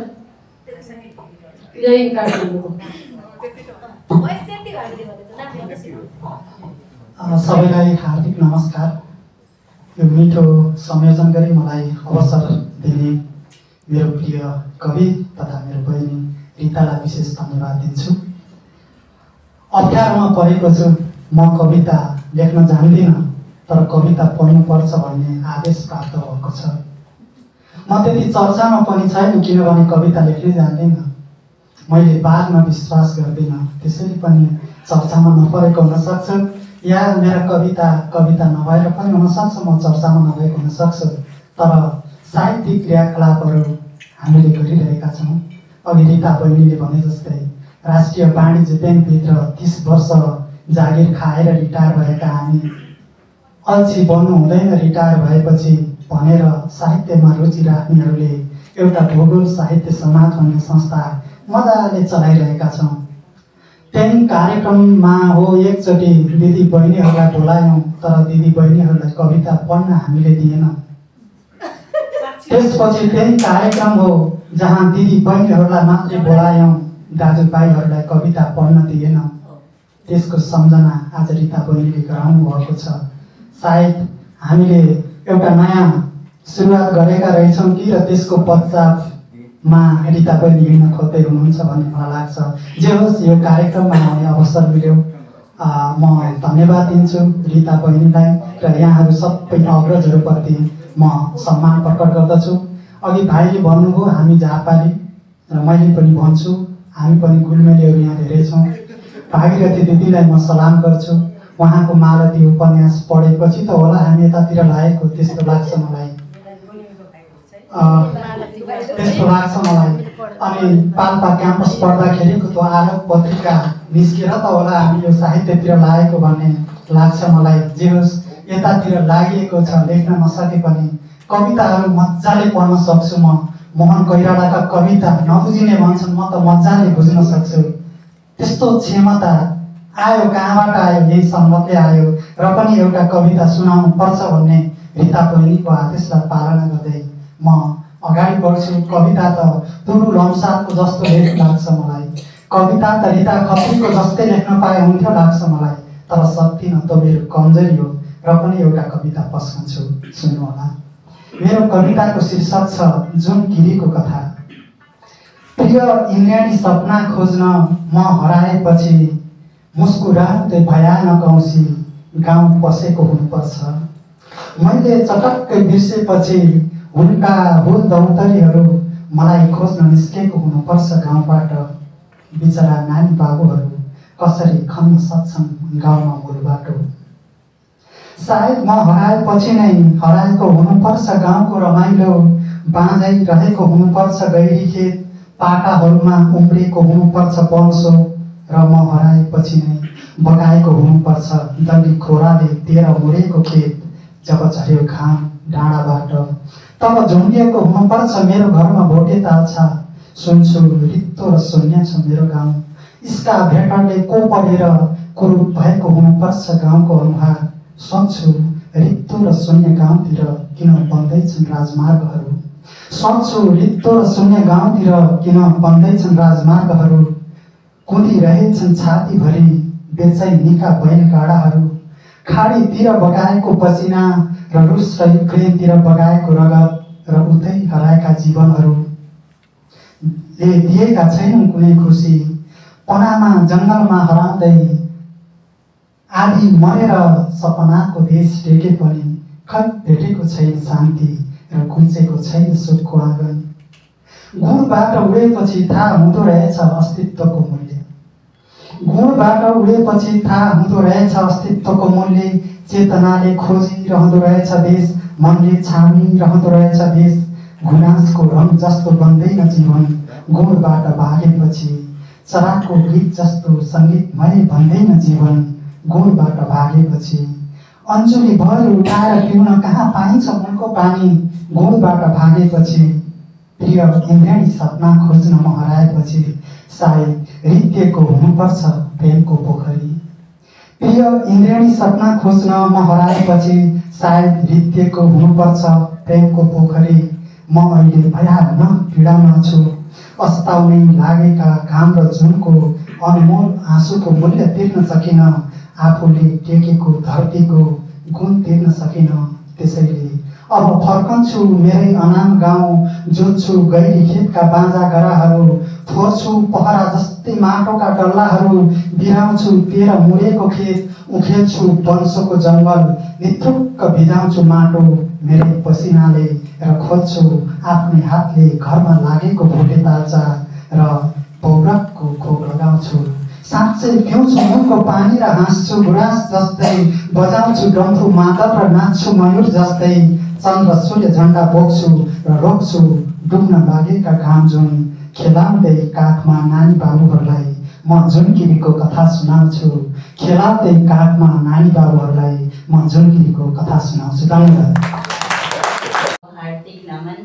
आज वरिष्ठ साहित्यकार ज्ञानेन्द्र छु र कुसुम गेवाली छु आइसकेको छ। मलाई चाहिँ कुसुम गेवाली बाबुलाई सम्झिँदाखेरि साहित्य सन्ध्यामा फेला भएको त्यो क्षणहरू याद आउँछ। म एकदम नै आभारी छु। अब मलाई यहाँ मलाई प्रेरणा दिने सबै साहित्यकारज्यूहरू छ। म सबैको नाम लिन सक्दिनँ। म रिता बहिनीप्रति हार्दिक आभार प्रकट गर्दछु। उहाँले नबोलाउनु भएको भए म कुसुम बाबु र ज्ञानेन्द्र गदाल सरलाई चाहिँ भेट्न सक्दैन थिएँ। मेरो परिचय चाहिँ म ललिता दोषी म बाल साहित्य र प्रौढ साहित्यमा कलम चलाउँछु। अहिले बुद्धनगर बानेश्वरमा बस्छु। हस् धन्यवाद। नमस्कार सबैमा। म कल्पना काफले काम चाहिँ नेपाल वायु सेवा निगममा काम गर्छु। साहित्यमा असाध्यै रुचि छ लेख्छु पढ्छु यति मात्रै। धन्यवाद। नमस्कार म मन्दिरा मधुश्री। यहाँ रिता बहिनी हामी अघि उमेश दाईले भन्नुभयो हामी चाहिँ बाणी प्रकाशन विराटनगरको हामी उत्पादन हौँ। रिता बहिनी उमेश भाइ कल्पना म राधिका दिदी अँ, म चाहिँ कथा गीत गजल लेख्छु। अलिअलि पढ्छु अलिअलि लेख्छु। धन्यवाद। धन्यवाद मन्दिरा बहिनी। उपस्थित सम्पूर्णमा हार्दिक नमन। म देखिरहेको छु। यहाँका स्रष्टाहरू जसका प्रेरणाहरू हामीले धेरै पाएर कविता लेख्न सिक्यौँ र बाणी विराटनगर बाणी प्रकाशनको कुरा आयो। बाणी प्रकाशन प्रोडक्ट चाहिँ हाम्रो त्यहीँबाट जन्मिएका हौँ हामी। कवि कृष्णभूषण बल परशु प्रधान जस्ता कल्पना काप्ले उमेश अकिञ्चन भाइ रिता खत्री मन्दिरा म हामी पाँचजना रहेछौँ क्या सायद यहाँ। र यहाँ कविता नि बेसी लेखियो क्या र म कविताकै क्षेत्रमा कलम चलाउँछु। घर विराटनगर राधिका गुरागाई र मेरा दुईवटा कविता सङ्ग्रह प्रकाशित छ। यति नै। धन्यवाद। नमस्कार। म यादेवी ढकाल पेसाले उपप्राध्यापक पाटन क्याम्पसमा पढाउँछु। बाल साहित्य समाजको उपाध्यक्ष छु र साहित्यका अरू विधामा पनि कलम चलाउँछु। धन्यवाद। सबैलाई अभिवादन व्यक्त गर्दै मेरो नाम राधेश्याम लेखाली हो। दुईजना कविको बारेमा चाहिँ भन्छु। एकजना उमेश सकिन्छ उमेश सकिन्छनको कविता यहाँले सुन्नुभयो।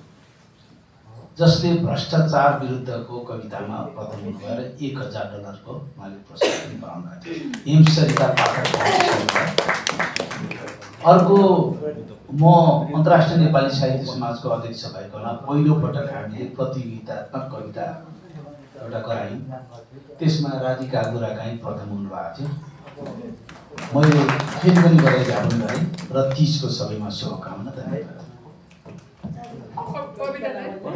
होइन। त्यो मिचियो कि? अब मिचियो एकजनाको चाहिँ उहाँलाई तपाईँले अन्याय गर्नुभएको छ परिचय। किन?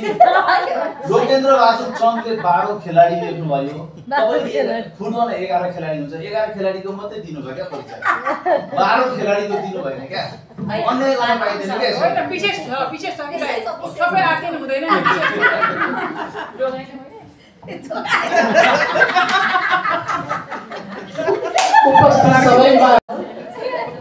म इल्या भट्टराई नेपाली साहित्यको विद्यार्थी म विशेष कथा र यात्रा अनि एउटा बाल कथा सङ्ग्रह पनि गरेर एघारवटा प्रकाशित छन् म अहिले गुन्जनको उपाध्यक्ष नमस्कार बसेर भन्दा हुन्छ होला है नमस्कार सबैजनालाई यो माइक अर्काको हातमा हुने चाहिँ कति धेरै बोला जस्तो लाग्छ अनि आफ्नो हातमा आइसकेपछि चाहिँ अलिअलि बोल्नु पाए हुन्थ्यो जस्तो लाग्छ। मलाई अलिअलि बोल्नु मन लागिरहेको छ। कृपया अलिकति के अरे माफ गरेर चाहिँ सुनिदिनु होला मलाई अब रिता बहिनीले भनिहाल्नुभयो आजको विशेष हाम्रो मेल पार्टनर साथीहरूलाई चाहिँ साहित्यकारहरूलाई चाहिँ महत्त्व दिनुभएको छ। एकदम खुसी पनि लाग्यो। मलाई अब आउनु आउनु त म आउँथेँ तर कहिले कहिले चाहिँ यस्तो काम हुँदाखेरि ल प्राइभेटीमा अर्को काम राखिदिनु हुन्थ्यो तर ओहो आज चाहिँ यहाँ नआइ पुगेको भए म कति ठुलो कुरो मैले गुमाउने थिएँ जस्तो लाग्यो अब म यहाँ हामी म सुरु गर्छु म मन्जुल दाईबाट कि मन्जुल दाई मेरो एकदम आदरणीय साहित्यकार दाई म उहाँको एकदमै आदर गर्छु उहाँलाई उहाँलाई मैले कहिले चिने भने कविता लेख्न पनि उहाँले नै सिकाएको होला मेरो दाजुले म मन्जुर भनेको एकदम राम्रो कवि हो तिमी कविता लेख्छौ भने अब उहाँको कार्यक्रमहरूमा जानुपर्छ सिक्नुपर्छ भनेर मलाई बरोबर उहाँकोमा लैजानुहुन्थ्यो र उहाँले पनि मलाई एकदम प्रेरणा दिनुहुन्थ्यो त्यस कारणले चाहिँ आज फेरि दाइले यस्तो स्वस्थ अवस्थामा पाउँदाखेरि चाहिँ एकदमै खुसी लाग्यो। अब अर्को हाम्रो ज्ञानेन्द्र ज्ञानेन्द्र जीलाई भेट्दाखेरि पनि एकदम खुसी लाग्यो। म साहित्यिक कार्यक्रममा रेडियो नेपालमा काम गर्थेँ। त्यति बेलामा उहाँको कविताहरू यति राम्रा हुन्थे कि अनि हामी उहाँ खोजी खोजिकन उहाँको कविताहरू चाहिँ पढ्नलाई पढ्थ्यौँ। यस्तो राम्रो उहाँ साहित्यकार कवि उहाँले चाहिँ आज फेरि धेरै पछि साक्षात्कार हुनु पाउँदाखेरि मलाई एकदम खुसी लागेको छ। अब त्यसपछि रमेशजी भनौँ। रमेश रमेश क्षितिज चाहिँ हाम्रो रेडियोमा पनि रमेश क्षितिज नै हो कि उहाँको नाम पनि है? अनि मलाई त कस्तो रमेश पौडेल क्षितिज लेख्नुहुन्छ नि उहाँले पनि। अनि कस्तो नाम मिलेको मिलेको लाग्यो तर उहाँसँग पनि आज एउटा चिनाजानी फेरि रेडियो हुने मौका पाइयो धेरै खुसी लाग्यो। अब हाम्रो कुसुमजी उहाँको उहाँको कुराहरू पनि मलाई धेरै राम्रो लाग्यो कविता पनि धेरै राम्रो लाग्यो। अनि म चाहिँ मातेर गएको भन्ने चाहिँ जुन शब्द भन्नुभयो मलाई पनि कहिले कहिले लाग्थ्यो कि मातेरै हो मान्छेहरू चाहिँ विदेश जाने यहाँ किन जे पनि छ नि जस्तो लाग्थ्यो होइन? तर मैले अहिले आउँदाखेरि एउटा कुरा के भने महसुस गरेँ भने मातेर पनि हो तर आँतेर पनि रहेछ कि? यहाँ आउँदाखेरि यस्तो अनि मान्छेहरूलाई एउटा आफ्नो देशमा त आफ्नो वातावरण आफ्नो माया अपनत्व पाउनुपर्छ नि। त्यो नै कस्तो भने कोही मान्छे दुई चार दिनलाई ल म अब एउटा स्किल सिक्छु म दुई चार पैसा कमाउँछु अनि म आफ्नो देशमा आएर काम गर्छु भन्दाखेरि त यहाँ त यो माहौलै यस्तो बनाइसक्यो कि अहिलेको राजनीतिले हाम्रो राजनीति भनेर नामै लिनुपर्ने अवस्था आयो। यस्तो अशोक थापाले भन्नुभयो आउँछु म उहाँकोतिर पनि। अनि आउँदाखेरि त ओहो मान्छेलाई त कहिले भागो यहाँबाट बस्नै नसकिने रहेछ। यताबाट जिम्मेटा छन् उताबाट जिम्मेदार आफ्नै आँगनमा पढाइ हुनु परेपछि त बरु होस् जेस गयो अर्काको आँगनमा त म पढाइ हुँ भन्ने मलाई महसुस गरेर त म बाँच्न सक्छु भनेर बाध्य भएर मान्छे जान्छ नि।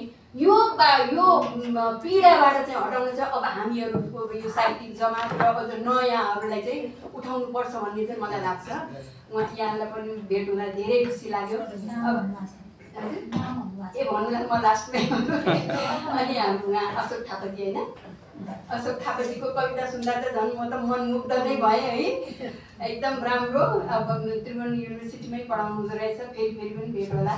अनि हाम्रो कृष्ण प्रसादजी उहाँसँग त म दस वर्ष नेपाल सरकारमा यो स्वास्थ्य मन्त्रालयमा हामी सँगै काम गरेको अनि उहाँको कविताहरू यति राम्रा हुन्थ्यो कि अब अरू बेला त हामीले कविता सुनेर बस्न के फुर्सद होइन अनि हामी यो फिल्डमा गएको बेलामा चाहिँ कहिले कहिले यो मन्त्रालयले राति प्रोग्रामहरू गर्थ्यो क्या र साहित्यिक कार्यक्रम यस्तै आज जस्तै अनि लास्टमा रमाइलो नाचगान गर्ने त्यस्तो गर्थ्यो। अनि उहाँहरू बेला बेलामा कविताहरू सुनाउनुहुन्थ्यो। यति राम्रो कविता हुन्थ्यो। वा वा वा वा गरेर प्रसाईजी प्रसाईजी भन्थे। र धेरै राम्रो मान्छे सबैलाई सबैसँग पनि राख्ने। उहाँसँग पनि धेरै बसी भेट हुनु पाउँदाखेरि खुसी लाग्यो। अनि उमेश पनि कविता धेरै राम्रो लाग्यो। अनि अब हाम्रो भेटवाजीको कुरामा आउँदाखेरि चाहिँ उहाँले सञ्जय थापाको नाम लिनुभयो कि? त्यो सञ्जय थापा भन्ने मान्छेको चाहिँ म नौ क्लासमा हुँदाखेरि एउटा कथा पढाएको थिएँ मैले। त्यो कथाको शीर्षक थियो थैले खत्रीको इतिहास। अनि मैले यो यति राम्रो लाग्यो यति राम्रो लाग्यो कि त्यो खासमा राजनीतिको कविता थियो के अरे कथा थियो। तर अति राम्रो लाग्यो लेखाइ त्यस्तै फ्लुएन्ट कथाको त्यस्तै कसरी लेख्छन् मलाई यस्तो यो यो सञ्जय थापा भनेको दाजु मलाई पनि लगेर जानु न मन्जु दाईकोमा जस्तै उहाँलाई पनि लिएर जानु न खै यसलाई चाहिँ म चिन्दिनँ भन्नुभयो कि? अनि को मान्छे हो? यो राम्रै लेख्छन् होला भनेर भन्नुभयो कि उहाँले अनि त्यसैले खुसी लाग्यो होइन। अब म चाहिँ सृजना शर्मा म धेरै पहिला रेडियो नेपालमा साहित्यिक कार्यक्रममा काम गर्थेँ त्यसपछि अब अरूहरू यसो एनजिओ सेनजिओ आइएनजिओमा काम गरेर अहिले रिटायर गरेर बसिरहेको छु धेरैजनासँग भेट भयो धन्यवाद। धन्यवाद। सर्वप्रथम त ज्ञानेन्द्र दाजु र पुरुष यो अवसर दिनुभयो? मानिसका आफ्ना गहनतम मनोभावहरू जब शब्दमा व्यक्त हुन्छन् त्यो साहित्य हुन्छ। भने शारीरिक चेष्टाद्वारा प्रस्तुत हुन्छ भने त्यो नृत्य हुन्छ। त्यही नृत्य सिकाउने र सिक्ने नृत्य निर्देशक म महेश गोदा। वास्तवमा आज गाई जात्रा प्रताप मल्लाले आफ्नो श्रीमतीलाई खुसी गराउनको लागि गाई जात्रा मनाएको भने जस्तै यहाँहरूलाई म त्यो नाचेर खुसी बनाउनलाई यहाँ बोलाउनु भएको कि जस्तो म नृत्य विधाको मान्छे होइन? अब यतातिर पढेँ। पहिला यहाँहरूले नेपाल टेलिभिजनमा यो छमछमी भन्ने कार्यक्रमको म मुख्य निर्णायक पनि थिएँ मिथिला दिदी म। विगत बत्तिस वर्षदेखि यो नृत्य क्षेत्रमा छु। Badragiri Giri dance and music academy एउटा मेरो स्कुल छ। यो कस्तो हुन्छ रहेछ भने फ्रिक्वेन्सीले जस्तो जुन ठाउँमा गयो त्यो ठाउँको जहाँ फोहोरमा हात हाल्यो फोहोरै लाग्छ महमा हात हाल्यो मह नै लाग्छ भने जस्तो आज पनि मैले यो महमा हात हाल्नु पाएछु र अलिकति चाट्ने मौका पाएँ यहाँ बस्दा बस्दै यसो दुईवटा कुरा म पनि किन नलेखौँ जस्तो लाग्यो हुन त यहाँ यो प्रकृतिमा भएका सबै जति पनि जे पनि छन् यहीँभित्र यही सानो टाउकोमा छ त्यो यहाँ नअट्ने कुरा केही पनि छैन त्यो बिचमा पनि मैले दुईवटा शब्द हुन त म ओम श्री त्रिकुटा गुरुधाम नेपाल भन्ने एउटा संस्था छ हाम्रो म त्यो आध्यात्मिक संस्थाको केन्द्रीय अध्यक्ष हुँ। म बाहिरको शब्द भन्दा नि भित्रको भाव र भावको माध्यमबाट परम तत्त्वलाई भेट्ने छुने महसुस गर्ने मार्गमा लागिरहेको मान्छे हुँ। तथापि यो हाँसी मजाक पनि हुनसक्छ। यो यो यो यो मञ्चमा चाहिँ। म मलाई खुसी लाग्यो यो अवसरको लागि। यसो अगाडि हेरेर म कसैलाई हेरेर भने मेरो आँखामा आँसु बग्दा तिम्रो ओठ मुस्कुराउँछ भने मेरो आँखामा आँसु बग्दा तिम्रो ओठ मुस्कुराउँछ भने म दुःखी हुँदा तिम्रो जिन्दगी नै रमाउँछ भने म दुःखी हुँदा तिम्रो जिन्दगी नै रमाउँछ भने म महिन भई जलिरहँला। छोटो छोटो भर्खर यसो। अब अहिले नेताका कुरा आयो यताउता कुरा आयो। यसो यो यता वरिपरिकोले आएको है यो फेरि मबाट आएको होइन यताबाट अलिअलि आयो यताबाट अलिअलि आयो कसका हुन्छौ नेता कसका हुन्छौ नेता जनतै नभए कसका हुन्छौ नेता जनतै नभए कहाँ गर्छौ राजनीति राष्ट्रै नलाए धन्यवाद धन्यवाद सबैजनालाई नमस्कार पिताजीले बोलाउनु भयो अस्ति। अघि पिकनिकको कुरा पनि जोड्नु हो। अलिअलि लेख्छु म पनि। त्यति धेरै होइन तर मलाई दुई तिनवटा कुराहरू यहाँ मलाई अहिले म बेला बेला त्यो कुराहरूले मलाई एकदम धेरै छुन्छ पनि मन्जुल दाईको एउटा कविता छापिएको थियो। भर्खर हिमाल सुरु गर्दा म त्यसमा रिपोर्टिङ गर्थेँ। बर्खा शीर्षकको एउटा कविता छापिएको थियो। त्यो मन्जुल दाजुको हिमाल भर्खर सुरुमा भएर त्यसमा मैले भर्खर काम गर्नु थालेको थिएँ बर्खा रातभरि रोइरही यस्तै के थियो त्यो कविता? मलाई त्यो कविताले धेरै समयसम्म ओखो को मान्छे होला यस्तो कविता लेख्ने भने जस्तो लागिरहेको थियो। धेरै पछि मैले दाईसँग भेटेँ। अर्को अघि रिताजीले भन्नुभयो ज्ञानेन्द्र दाजुको त्योभन्दा धेरै हिट गीत छ। जति बेला हामी रेडियो सुन्थ्यौँ। दिन ढल्यो धेरै रातमा हिउँ जल्यो निष्ठुरीको याद त्यस्तो गीत लेख्ने गीतकार ज्ञानेन्द्र दाजु हुनुहुन्छ दाजुलाई मैले भेटेको उनासाठी सालमा। रमेश क्षितिज दाजु त्यो दसैँ सम्झे तिहार सम्झे सम्झेहरू चाडहरू। टिनेजरमा चाहिँ यो गीत सुनेर रुन्थ्यौँ हामी थाहा छैन किन हो। दाइलाई पनि अन्ठाउन्नमा हो कि जस्तो लाग्छ दाइसँग भेटेको चाहिँ। म रेडियो नेपालमा पहिला नाटक खेल्न आउँथेँ बाल कार्यक्रमहरूमा कविता पढ्न आउँथेँ। त्यति बेला धेरै रेडियोसँग सत्सङ्गमा रहनुभएका धेरै गीतकारहरूसँग कविता लेख्न सुरु गर्दा आएका कविहरूसँग त्यति बेलाको प्रभावले म आज गीत पनि लेखिरहेको छु कविता पनि लेखिरहेको छु तर मलाई मेरो आफ्नै भन्नुपर्दा चाहिँ मूल विधा चाहिँ मेरो नाटक हो। म नाटक लेख्छु नाटक सिकाउँछु नाटक निर्देशन गर्छु आफै अभिनय पनि गरेको छु। धेरैजनाहरू हुनुहुन्छ माया दिदी माया ठकुरी दिदी जो लामो समय पढाउनु भयो नुहाकोटमा दिदीले होइन? धेरै अग्रजहरू हुनुहुन्छ कृष्ण राई राधेश्याम बेकारी दाजु अघि दाजुले एउटा कुरा भन्नुभयो मलाई चाहिँ त्यो कुरा भन्छु भन्ठान्दै थिएँ म अघि।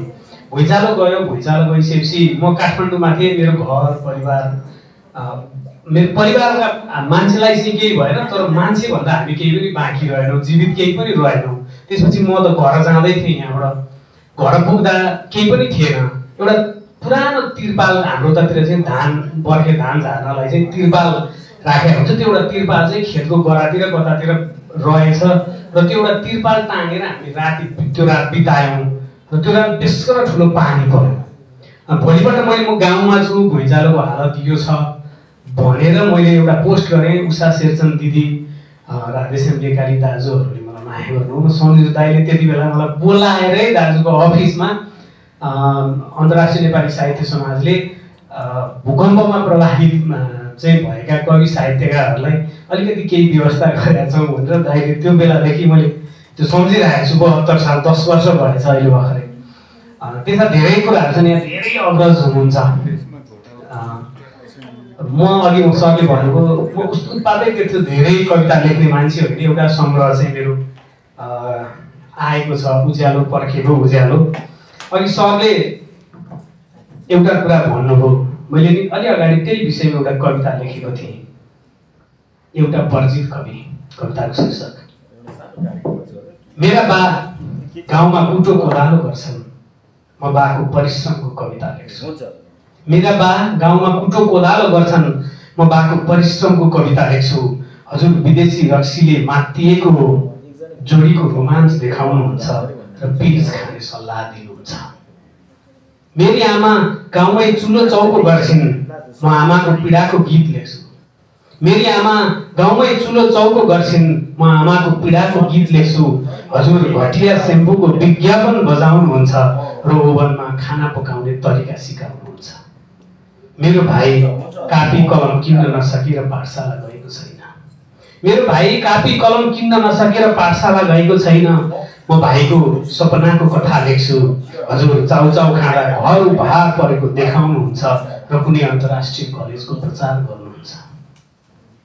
मेरी बहिनीको चोली च्यातिएर आङ देखिएको मेरी बहिनीको चोली च्यातिएर आङ देखिएको हो। म गरिबी र अभावको कुरा लेख्छु। हजुर कुनै सम्भ्रान्त वेश्याको वक्षस्थल देखिने तस्बिर छाप्नुहुन्छ र बिकिनीको प्रचार गर्नुहुन्छ। म हजुरलाई महँगा मदिरा पिलाउने सामर्थ्य राख्दिनँ त्यसैले मेरा रचना तपाईँका नजरमा अब्बल छैन। म हजुरलाई महँगा मदिरा पिलाउने सामर्थ्य राख्दिनँ त्यसैले मेरा रचना तपाईँका नजरमा अब्बल छैनन्। म हजुरलाई आफ्नै गाडीमा राखेर घुमाउने औकात राख्दिनँ त्यसैले वर्जित छन् मेरा सिर्जनाहरू तपाईँको सञ्चारमा मसँग लुटाउने भरिलो जवानी पनि छैन। त्यसैले मेरा कविताले स्थान पाउँदैनन् तपाईँका अखबारमा तर महाशय मलाई सत्तोक लुटाएर कवि हुनु छैन। धन्यवाद। नमस्कार म क्रान्ति पराजुली सम्पूर्ण अग्रज आदरणीय साहित्यकारहरूमा नमन भन्न चाहन्छु। आजको यो भेटप्रति रिताजीप्रति आभार व्यक्त गर्न चाहन्छु। म चाहिँ विशेष आख्यानमा कलम चलाउँछु। मेरा दुईवटा उपन्यास कृतिहरू प्रकाशित भइसकेका छन्। र यो साहित्यले चाहिँ मलाई एउटा जीवन बाँच्ने प्रेरणा उत्प्रेरणा अभिप्रेरणा दिएको जस्तो लाग्छ। र यही साहित्यिक यात्राले नै आज यहाँहरूसँग भेट्ने अवसर प्राप्त गर्दा मैले आफूलाई भाग्यमानी महसुस गरेको छु। धन्यवाद।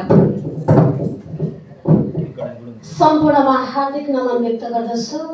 मेरो नाम देवकी तिमल सिन्हा समीक्षा कर्णाली प्रदेश सर्केगाड आठ हुम्लाबाट म यहाँ उपस्थित भएको छु र हाल म कागेश्वरी नपा चारमा बस्ने गरेको छु। धेरै चेलीहरू चाहिँ घर जानुहुन्छ म चाहिँ माइती प्रदेश आएको छु। सात वर्ष पछाडि म चाहिँ केही लेख्दिनँ। म यहाँले भने जस्तो कोही विराटनगरबाट कुन प्रदेशबाट भन्नुभयो म चाहिँ सातै प्रदेशमा मेरो पाइलाहरू पुर्याएको छु र म त्यही अनुभूति लेख्ने गर्छु। धन्यवाद। नमस्कार सम्पूर्णमा म ललिता शर्मा घर मेरो पाके।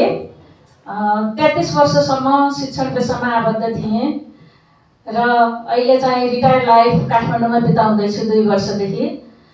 बाल साहित्यमा कलम चलाउन रुचाउँछु र बालबालिकासँग असाध्यै नजिक हुन मन लाग्छ। आज यसरी यहाँ आएर हजुरहरूसँग जोडिन पाउँदा धेरै खुसी छु। रिता बहिनीलाई धेरै धेरै धन्यवाद दिन चाहन्छु र सम्पूर्णलाई पनि फेरि हार्दिक नमन गर्दै बिदा हुन्छु। धन्यवाद। हार्दिक नमस्कार। म ओम कुमारी बजारा राणाघाट स- सर्वप्रथम रिताजीलाई धेरै धेरै धन्यवाद। ज्ञानेन्द्र गदाल गुरु गुरुलाई हार्दिक सम्मान। उहाँले हामीलाई गीत लेख्न सिकाउनुहुन्थ्यो।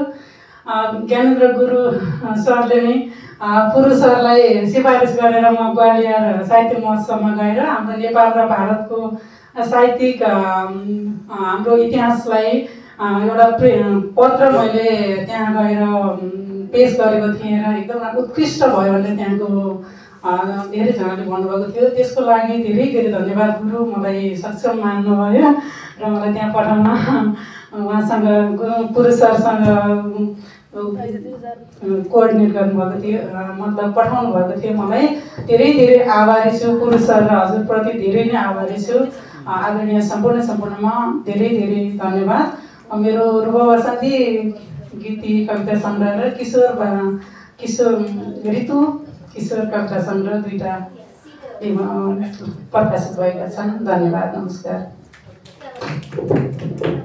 नमस्कार सबैजनामा। म रेणुका सोलु। सर्वप्रथम त हाम्रो विदेशी भूमिबाट जन्मभूमिमा आइपुग्नुभएका हाम्रा आदरणीय दाजु ज्ञानेन्द्र दाजु र कुसुम गेवालीजीमा हार्दिक स्वागत गर्न चाहन्छु र नेपालको बसाइ यहाँको सुखद रहोस् भनेर पनि कामना गर्न चाहन्छु।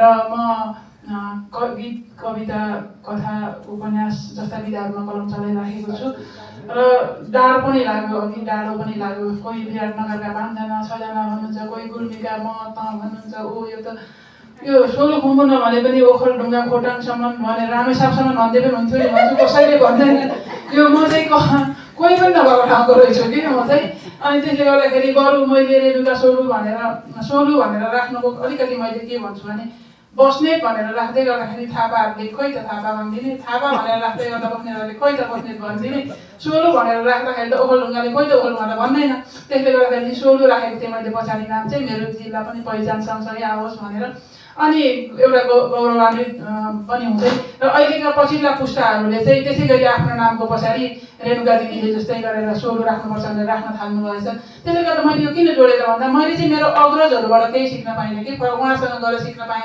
उहाँसँग गएर सिक्न पाएँ भने त खालि पाठ्यक्रममा कति पढ्न पाइयो त्यो पनि त्यो डोकाको फेदमा किताब लुकाएर घाँस काट्न जाँदा बारीको कुनामा एकछिन कसैले आमाले बुवाले देखिहाल्नुभयो भने पनि कत्रो लौरोको चाहिँ कुटाइ खाइने हो भन्ने अनुमान पहिल्यै गरेर त्यो सहन सक्ने साहस राखेर पढ्नु पर्थ्यो।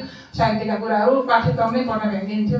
त्यस्तो ठाउँमा हो जन्मेर हुर्केर आएर यो त्रिभुवन विश्वविद्यालय मास्टर्स पढ्दै गर्दाखेरि अब पन्ध्र सोह्र वर्ष भइसकेपछि बुढी कन्या भइसक्यो बित्दैन भन्ने त्यो त तनाव सहँदा सहँदै बिहे भएपछि नाम बुवाहरूको ठुलो काम सिद्धि अनि त्यो बिहे भइसकेपछि मेरो काम के के सुरु भयो? त्यो काम व्यवस्थापन गर्दै गर्दै जाँदा साहित्य भित्रै रहिराख्यो। रहिराख्यो रहिराख्यो जब मास्टर डिग्री पढ्न थालेपछि बल्ल सार्वजनिक हुने मौका पायो र त्यसपछि केही न केही यहाँहरूसँग यसरी भेट्ने अवसर पाएर मैले पनि केही लेख्दो रहेछु। लेख्नु पर्ने रहेछ मसँग पनि भावना रहेछन्। म पनि मानव संविधान सहितको मान्छे नै रहेछु प्राणी रहेछु भन्ने बल्ल मलाई म आफूले पनि आफूलाई चिन्न थालेँ र केही लेख्न थालेँ। त्यसरी म लेख्दै अगाडि बढिराखेको छु र यो मलाई गर्व लागिराखेको छ आज। रिता बहिनी कहाँ हुनुहुन्छ अहिले?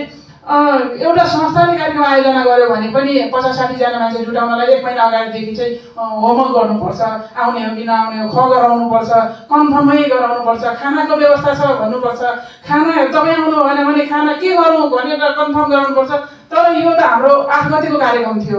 आठ गतिलाई कोही कतिको नभ्याउने फेरि ज्ञान दाजुहरू पनि आउनु भएको र आज यो कार्यक्रम गरौँ भनेर हिजो बिहानबाट सल्लाह गर्दाखेरि आज यतिजना मान्छे उपस्थित हुनु भनेको त यो वास्तवमा फर्मल एउटा संस्था दर्ता गरेर अध्यक्ष उपाध्यक्ष महासचिव भएर दुनियाँ गर्नु पर्दैन रहेछ कि? मान्छेको मन रहेछ सबैभन्दा ठुलो कुरा। रिता बहिनीलाई धेरै धेरै बधाई पनि ज्ञापन गर्न चाहन्छु र यहाँ उपस्थित हुनुभएका हामी सबैजनालाई यो आत्मीयता सधैँ यस्तै एकत्रित भएर एकताबद्ध भएर अगाडि बढिराखोस्। जसरी भए पनि हामीले साहित्यको सेवा गर्ने हो। हामी आफू पनि रमाउने हो र अरूलाई पनि रमाउन दिने वातावरण सिर्जना गर्ने हो। यसो भन्दै म यही मेरो भनाइ अन्त्य गर्छु। धन्यवाद नमस्कार। सबैलाई नमस्ते। म सुस्मिता नेपाल सागोबाट म बस्छु। विश्व भाषा क्याम्पसमा पढाउँछु। साहित्यको पाठक म चाहिँ उपन्यास र कविता लेख्न मन पराउँछु। आज मैले परदेशबाट आउनुभएको साहित्य के अरे कविहरू साहित्यकारहरूलाई भेट्ने मौका पाएँ। धेरै पछि म पनि यो साहित्यिक समारोहमा यस्तै भेटघाटमा जाने गरे पछि मात्रै आउने मलाई अवसर जुर्यो यसको यो अवसर जुराइदिनुमा रिता बहिनीको ठुलो हात छ। र सम्पूर्ण आज जति पनि कविताहरू सुने त्यो मेरो मनभित्रै छोयो। यहाँहरू सबैलाई धेरै धेरै धन्यवाद भन्न चाहन्छु।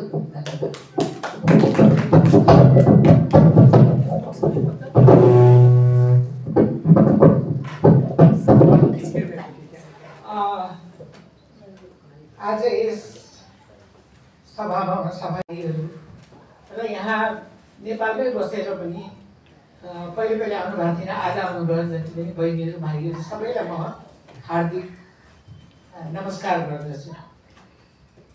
अब म त के भन्नु र अब सबैको कुरा सुनि मलाई राम्रो लाग्यो तर म तपाईँहरूलाई एउटा कुरा भन्छु पहिला मेरो आफ्नै कुरा गरौँ है। सबैले आफ्नै कुरा गर्छन् म पनि गर्छु। के भने म हराउने मान्छे रहेछु धेरै ठाउँमा हराउँछु म। काठमाडौँदेखि। त्यसको ज्वलन्त उदाहरण चाहिँ यहाँ भाइ बस्नु भएको छ। अहिले उहाँको नाम मलाई याद भएन। धेरै बिर्सिन्छु भने म म राति पुरस्कार पाएर मलाई यति पनि ज्ञान भएन कि मैले पुरस्कृत गर्ने मान्छेलाई मलाई एउटा ट्याक्सी बनाइदिनुहोस् मलाई पठाइदिनुहोस् भन्ने मलाई त्यो कहिले पनि थाहै हुँदैन कि मलाई त्यो कुरा। अनि उहाँले लगाइदिएको माला त्यो के अरे खास अनि पुरस्कार गरेको त्यो ठुलो एउटा भाँडो भनौँ त्यसलाई अब। त्यो के अरे रकम राखेको। एन्भलप पनि सबै दिएर मलाई ल त भनेर नमस्कार गरेँ बाहिर पानी बेस्तरी परेको रहेछ। त्यो पानी परेको बेला म के सोचेर हिँडेँ होला? त्यो त्यहाँबाट मलाई कसलाई पुऱ्याइदिनु भने नि केही भनेन बाहिर निस्केर एकदम बेस्तरी पानी परेको थियो। फुटपाथ जसो तसो उतापट्टि गएँ। होइन गएँ कि भएन यतै थियो होला अनि म त्यहाँ बसिरहेको थिएँ भाइ आउनुभयो के भयो भन्नु म त खोइ कताबाट घर जाने पनि कतै ड्राइभरलाई के भनौँ कसो भन्नु उहाँ आएर मलाई चाहिँ ड्राइभरलाई बोलाइदिनु भएर मलाई मेरो गन्तव्य स्थान भन्नुभयो पुऱ्याइदिनु भयो। आज सबैको अगाडि तपाईँलाई म धन्यवाद दिन चाहन्छु यस्तो घटना धेरै माया कति हराउने पनि हरायो भने पनि तपाईँले छक्क नबन्नु होला। म हराउँछु त्यत्रो आदर मेरो सौभाग्य हो। बहिनीले चाहिँ आज यति राम्रो यो कार्यक्रम गर्नुभयो योभन्दा अगाडि पनि महिलाहरूलाई मात्र बोलाएर गर्ने गर्नुहुन्थ्यो आज सबैलाई बोलाएर भाइहरू पनि हुनुहुन्छ बहिनीहरू पनि हुनुहुन्छ सबैजना हुनुहुन्छ। यति राम्रो कार्यक्रमको आयोजना गर्नुभयो। यस्तो किसिमले आयोजना गर्नु त साँच्चै नै एकदम ठुलै कुरा हो यो। किन कुनै कुनै संस्थाहरूले पनि गर्न सक्दैन। स्थापित भइसकेको धेरै वर्षको स्थापित भइसकेको संस्थाले पनि त्यति गर्दैन तर आज गर्नुभयो यहाँ त्यसको लागि म पहिला पनि धन्यवाद दिन्छु। आगामी दिनमा पनि यसरी नै हामीले पुरुषहरूलाई पनि ठाउँ दियौँ महिलाहरूलाई पनि एउटै परिवारका जस्तै हामीहरू सबैलाई ठाउँ दियौँ। र आज तिस भएको हुनाले भाइहरूलाई देखेर म दुई लाइन मात्र भन्छु धेरै लामो गर्दिनँ म पुरानो गीत तिसको म भन्छु।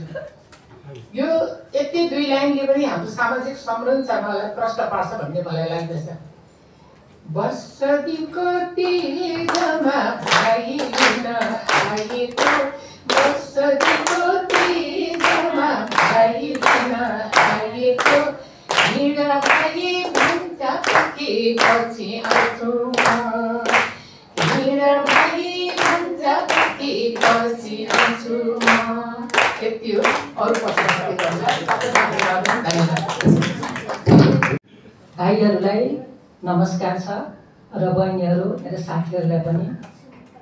मेरो धेरै धेरै माया र नमस्कार पनि। र आज यो कार्यक्रममा रिता बहिनीले यस्तो किसिमको एउटा सुन्दर कार्यक्रम गर्नुभएकोमा हामी सबै रहनुभएको उहाँलाई उहाँको साहसलाई उहाँको क्षमतालाई धेरै धेरै धन्यवाद दिन चाहन्छु। र हाम्रो गदालु भाइ हुनुहुन्छ गदालु गदालु गदालु भाइ हुनुहुन्छ। हाम्रो गुन्जनलाई माया गरेर गुन्जन संस्थाले उहाँले पुरस्कार दिनुभयो। उहाँको त्यो भावनाले पनि म कदर गर्दै उहाँले पनि अभिवादन गर्न चाहन्छु। मन्जुलाई जसलाई मैले बिरामी हुँदा कस्तो अवस्थामा देखेको थिएँ यो अवस्थामा देख्छु भने सोचेकै थिएन। आज उहाँको पुरानो हाँसो फर्केको छ पुरानो बोली फर्केको छ। पुरानो उहाँको भाषा उहाँको स्टाइल फर्केकोमा म धेरै धेरै खुसी छु। उहाँलाई पनि शुभकामना र बधाई दिन चाहन्छु। रमेश भाइ म त अघिदेखि हेरिरहेको थिएँ उहाँलाई चिन्न सकिनँ को होला को होला भनेर उहाँको मनपर्ने। धेरै पछि उहाँ भेट्नुभयो मैले साहित्यकार उहाँको सिडिओ पनि हुनुभएको रहेछ साहित्यकार भाइहरू सिडिओ भएको सुन्दाखेरि बडो खुसी लाग्छ बडो एउटा गौरव अनुभूति हुन्छ। उहाँ भाइ सिडिओमा सुनेको प्रहलादजी पोखरेल र नरेन पौडेल अरू को को हुनुहुन्छ थाहा छैन। तिनजना भने मलाई याद छ।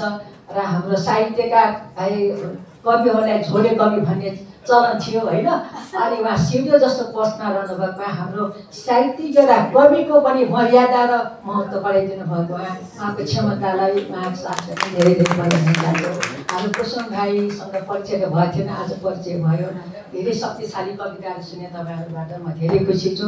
हाम्रो भाइ अशोक थापासँग मेरो परिचय त्यति साह्रै बोलचाल त छैन तर उहाँको भाषण उहाँको कार्यक्रममा जनसेवा कार्यक्रममा सुन्ने सौभाग्य पाएको थिएँ ज्ञान बहिनीको कार्यक्रममा धेरै प्रभावित भएको छु। अब बोल्नु होला। मेरो न भाइ त्यसपछि कृष्ण भाइ उहाँलाई धेरै पहिलादेखि चिन्छु। र उहाँको कविता एकदम मनपर्छ। उमेश भाइसँग धेरै उ त छैन तर उहाँको कविता पनि मैले सुन्न पाएँ। सबभन्दा पहिले उहाँ भाइको पनि अघि कवि आफ्नो गाउँको होइन गीत सुन्न पाएँ। सबभन्दा पहिले मेरो माइती देशको भाइ उहाँको अब नभनेको न त मलाई अब सुखै छैन। माइती नै गुर्मी भन्ने बित्तिकै सिङ्गे मेरो गुर्मी मेरो माइती देश त मेरो आँखा अगाडि आयो। है मलाई त कस्तो खुसी लाग्यो होला। आज यस्तो मलाई लागिरहेको छ कि आजको कार्यक्रममा हामी पहिलो एउटा कार्यक्रम एउटा हामी यो तिजको या दर खाने भने पनि भयो। हाम्रो एउटा नारीहरूको कार्यक्रम आज भाइहरूसँग मिलेर हामी हामी माइत आए जस्तै भइरहेको छ होइन? तपाईँले खाए पनि नखाए पनि हामी मलाई त साँच्चै एउटा दर खाने जस्तै। अहिले माइती देशको उपस्थिति भएको। मलाई सम्झनु भएकोमा मलाई एउटा एउटा चेलीको रूपमा सम्झनु भएकोमा धेरै धेरै म खुसी छु तपाईँलाई धन्यवाद छ र माधुरी उपन्यासको जुन तपाईँले चर्चा गर्नुभयो आज त्यो मेरो उपन्यास तपाईँ अहिलेको यो बहिनीले पढ्नु भएको छैन। रिएडिसन चाहिँ निस्कँदैछ त्यो मारुति उपन्यास पढ्दाखेरि तारा शर्माले आँखाबाट तत्तै आँसु झरे पनि भन्नुहुन्थ्यो है अनि त्यो अहिले रिएडिसन म निकाल्दैछु। र आजको तिजको तिजको उपलक्ष्यमा सबै भाइहरूलाई बहिनीहरूलाई साथीहरूलाई शुभकामना दिँदै मेरो सानो यो धन्यवाद।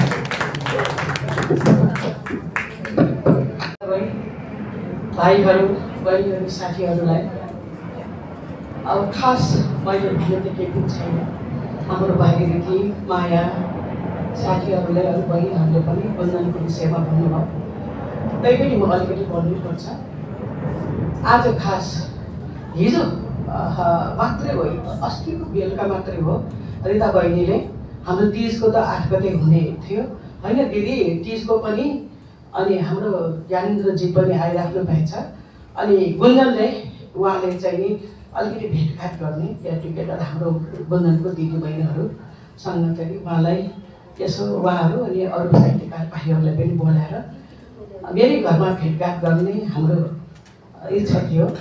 अनि रिता बहिनीले होइन दिदी यस्तो चाहिँ छ बिहान नौ बजेदेखि नै हाम्रो ज्ञानेन्द्र भाइ र अरू अरू साहित्यकारहरूलाई पनि बोलाउने भने यही मौकामा अब भाइलाई भेट्यो धेरै खुसी लागेको छ अहिले भाइले चाहिँ भनिहाल्नुभयो गुन्जनले धेरै माया गर्नुहुन्छ गुन्जनले पुरस्कार पनि दिनुभएको थियो हाम्रो गुन्जन संस्थालाई। त्यसको लागि पनि धेरै हामी आभारी छौँ। साथै आज चाहिँ कुसुम भाइ पनि भेट भयो है म उहाँले त त्यस्तो चिन्दिनँ है यहाँ मात्रै आएर चिनेको। अब हाम्रो भाइ त मेरो सबैलाई कथाको विषयमा नै बोल्नुभएको थियो। अनि रमेश छेत्रिज भाइको चाहिँ मैले नाम धेरै नै सुनेको तर चिन्जान थिएन के। फेस टु फेस थिएन। अनि हाम्रो मन्जुल भाइ भन्छु म उहाँलाई। अनि उहाँले भाउजू भन्नुहुन्छ। अनि उहाँको पनि यो अवस्था देखेर मलाई धेरै खुसी लाग्यो। उहाँबाट चाहिँ हामी कलेज पढ्दाखेरि उहाँको गीतहरू सुन्दाखेरि हामी एकदम उत्साहित हुन्थेँ।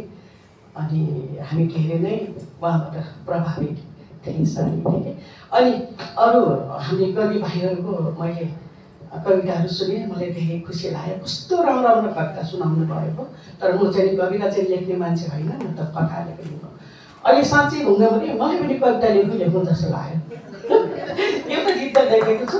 र त्यस्तो स्तरीय हुँदैन के?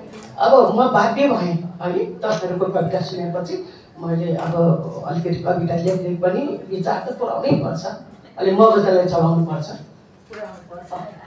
मगजलाई चाहिँ विचार पुऱ्याउनु पर्छ। मलाई थाहा छ मैले चाहिँ मेरो साहित्यमा चाहिँ म हृदयले लेख्छु जसले पनि भन्छ। मलाई पनि त्यसो मेरो मगज अलिकति कमजोरी छ। तर हृदय चाहिँ नि ठुलो नै छ भाइलाई थाहा छ होला। कठामा त्यस्तै लेखिरहेछ होइन?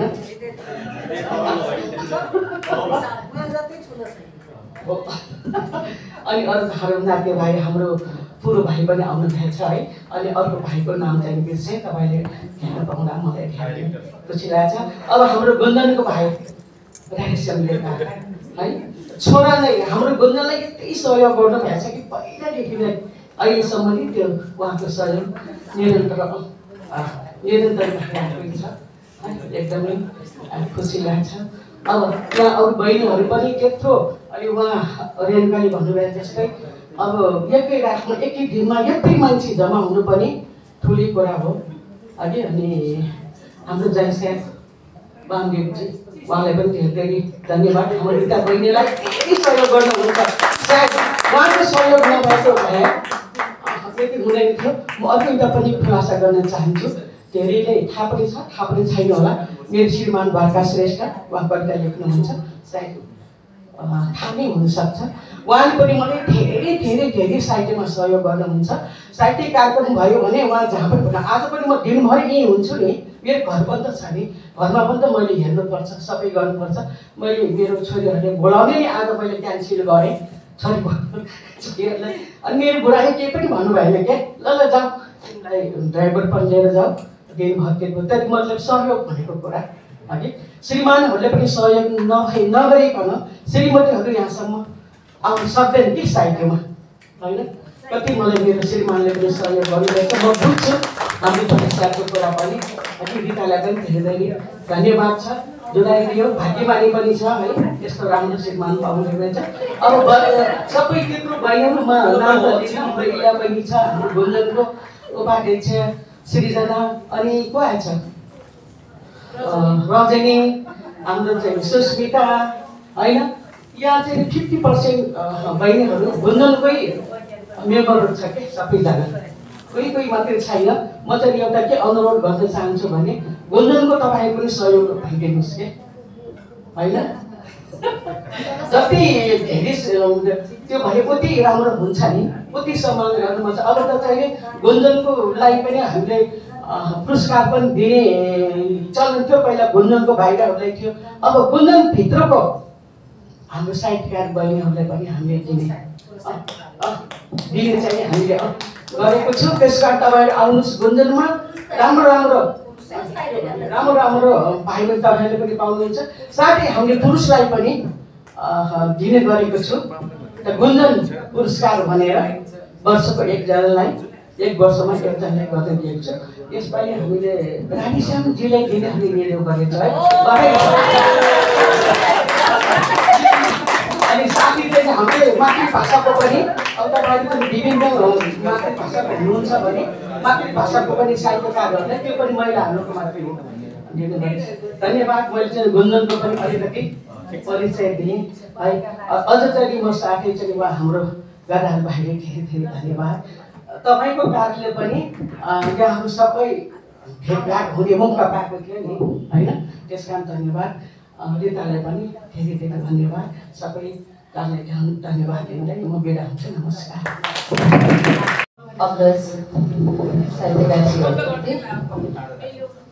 मेरो नाम दुर्गा भवानी भट्टकञ्चन म चाहिँ अब एउटै लहरोमा एउटै मेसोमा काम गर्न पनि भाग्यमा चुन्नुपर्छ होला सायद त्यो चाहिँ मेरो भाग्यमा रहेन टिचिङ पनि सत्र अठार वर्ष गरेँ हस्तकला वैदेशिक रोजगारमा पनि दुईवटा देशमा गएर मैले आफ्नो त्यहाँ काम गर्ने मौका पाएँ। र लेखनमा कविता म सानैदेखि लेख्थेँ। स्कुलदेखि नै मैले बाहिर पत्र पत्रिकामा छपाउँदै आउँथेँ र अहिले यो कविता सङ्ग्रह कञ्चन उत्सव प्रकाशित भएको छ। र उसमा एउटा नियात्रा पनि निक्लिएको छ जुन सिजेल्सको पहिलो वैदेशिक रोजगार। नियात्रा त्यो चाहिँ अफ्रिकन च्याप्टरमा निस्केको छ। अरू चाहिँ मैले हाल चाहिँ म अब हस्तकलामा सीमित रहेर काम गर्दैछु। बस्ने चाहिँ मेरो काठमाडौँ गाउँमा हो धन्यवाद सम्पूर्णमा नमस्कार। म शान्ति सापकोटा। मैले बाल साहित्य रचना गर्न मन पराउँछु। जन्म स्याङ्जा बस्छु धोबीघाट ललितपुर। धन्यवाद। नमस्कार। म रजनी ढकाल त्रिभुवन विश्वविद्यालयमा पढाउँछु सेन्टाको साथीसँगै भेटेँ अघि पूर्वतिरका धेरै कुराहरू गर्दा तर मलाई पूर्वसँग धेरै गौरव छ मन्जुर राईले लेख्न सिकाउनु भयो गीत कविता निबन्ध लेख्छु समालोचना पनि लेख्छु साहित्यबाट चाहिँ र आज यहाँहरूलाई भेट्न पाउँदा ज्ञानेन्द्र गदाल दाजु कुसुम कुसुम सर नेवाली पहिलोचोटि भेट भएको छ खुसी लाग्यो। यहाँहरू सम्पूर्णमा नमन खुसी लाग्यो। धन्यवाद। मलाई चाहिँ म त्यति साहित्यिक घर चाहिँ लेख्दैन म डान्स टिचर स्कुलहरूमा डान्सहरू सिकाउँछु सम्पूर्ण औरस साहित्य दाजु दिदीहरूमा हार्दिक नमन। म कमला साक्य सृष्टि पेसाले पत्रकार लेखक पनि हो। र मैले चाहिँ दुई हजार चौहत्तर सालमा चाहिँ नारी सङ्घर्ष भन्ने पचासजना महिलाहरूको जीवन सङ्ग्रह निकालेँ र अब अहिले पनि अर्को जीवनी सङ्ग्रह निकाल्ने क्रममा छु। र अब आउने पन्ध्र गति चाहिँ मेरो कार्यक्रम छ। सम्पूर्णलाई चुनलाई निम्तो भनेर चाहिँ भन्न चाहन्छु। धन्यवाद। नमस्कार सबैजना। कविकार साहित्यकार अनि कवि रचनाकार दाई नमस्कार फेरि भन्छु र हजुरहरूको कविताले अनि साहित्यकार कविकार दाईहरू हुन्छ उहाँहरूको कविताले चाहिँ मन छुयो यसमा एकदमै खुसी छु।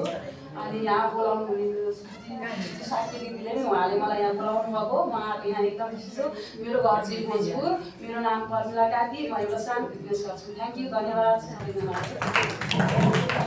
हेलो सम्पूर्णमा नमस्कार। म निर्मला भुयाल म पेसाले चाहिँ शिक्षक। म रिताको मार्फत चाहिँ यहाँको हामी साथी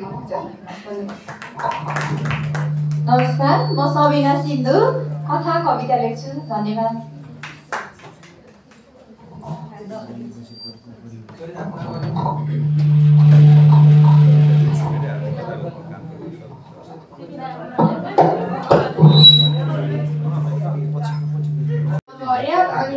ट्रियोक स्कुलमा पढ्छु। गुड आफ्टरनुन मेरो नाम चाहिँ आयोही हो। अनि म सेन्ट मेरी स्कुलमा पढ्छु।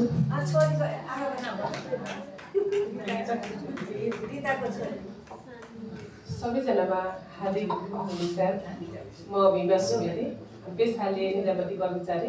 हामी यहाँ कर्मचारी सङ्गठनको तर्फबाट हाम्रो अग्रज आज आयोजक संस्थाको एकदम प्रोत्साहित र हौसला दिन उहाँको हौसला बढाउन यहाँ आएपछि अत्यन्तै खुसी लाग्यो ढिलो आयो भन्नेमा पछुतो छ।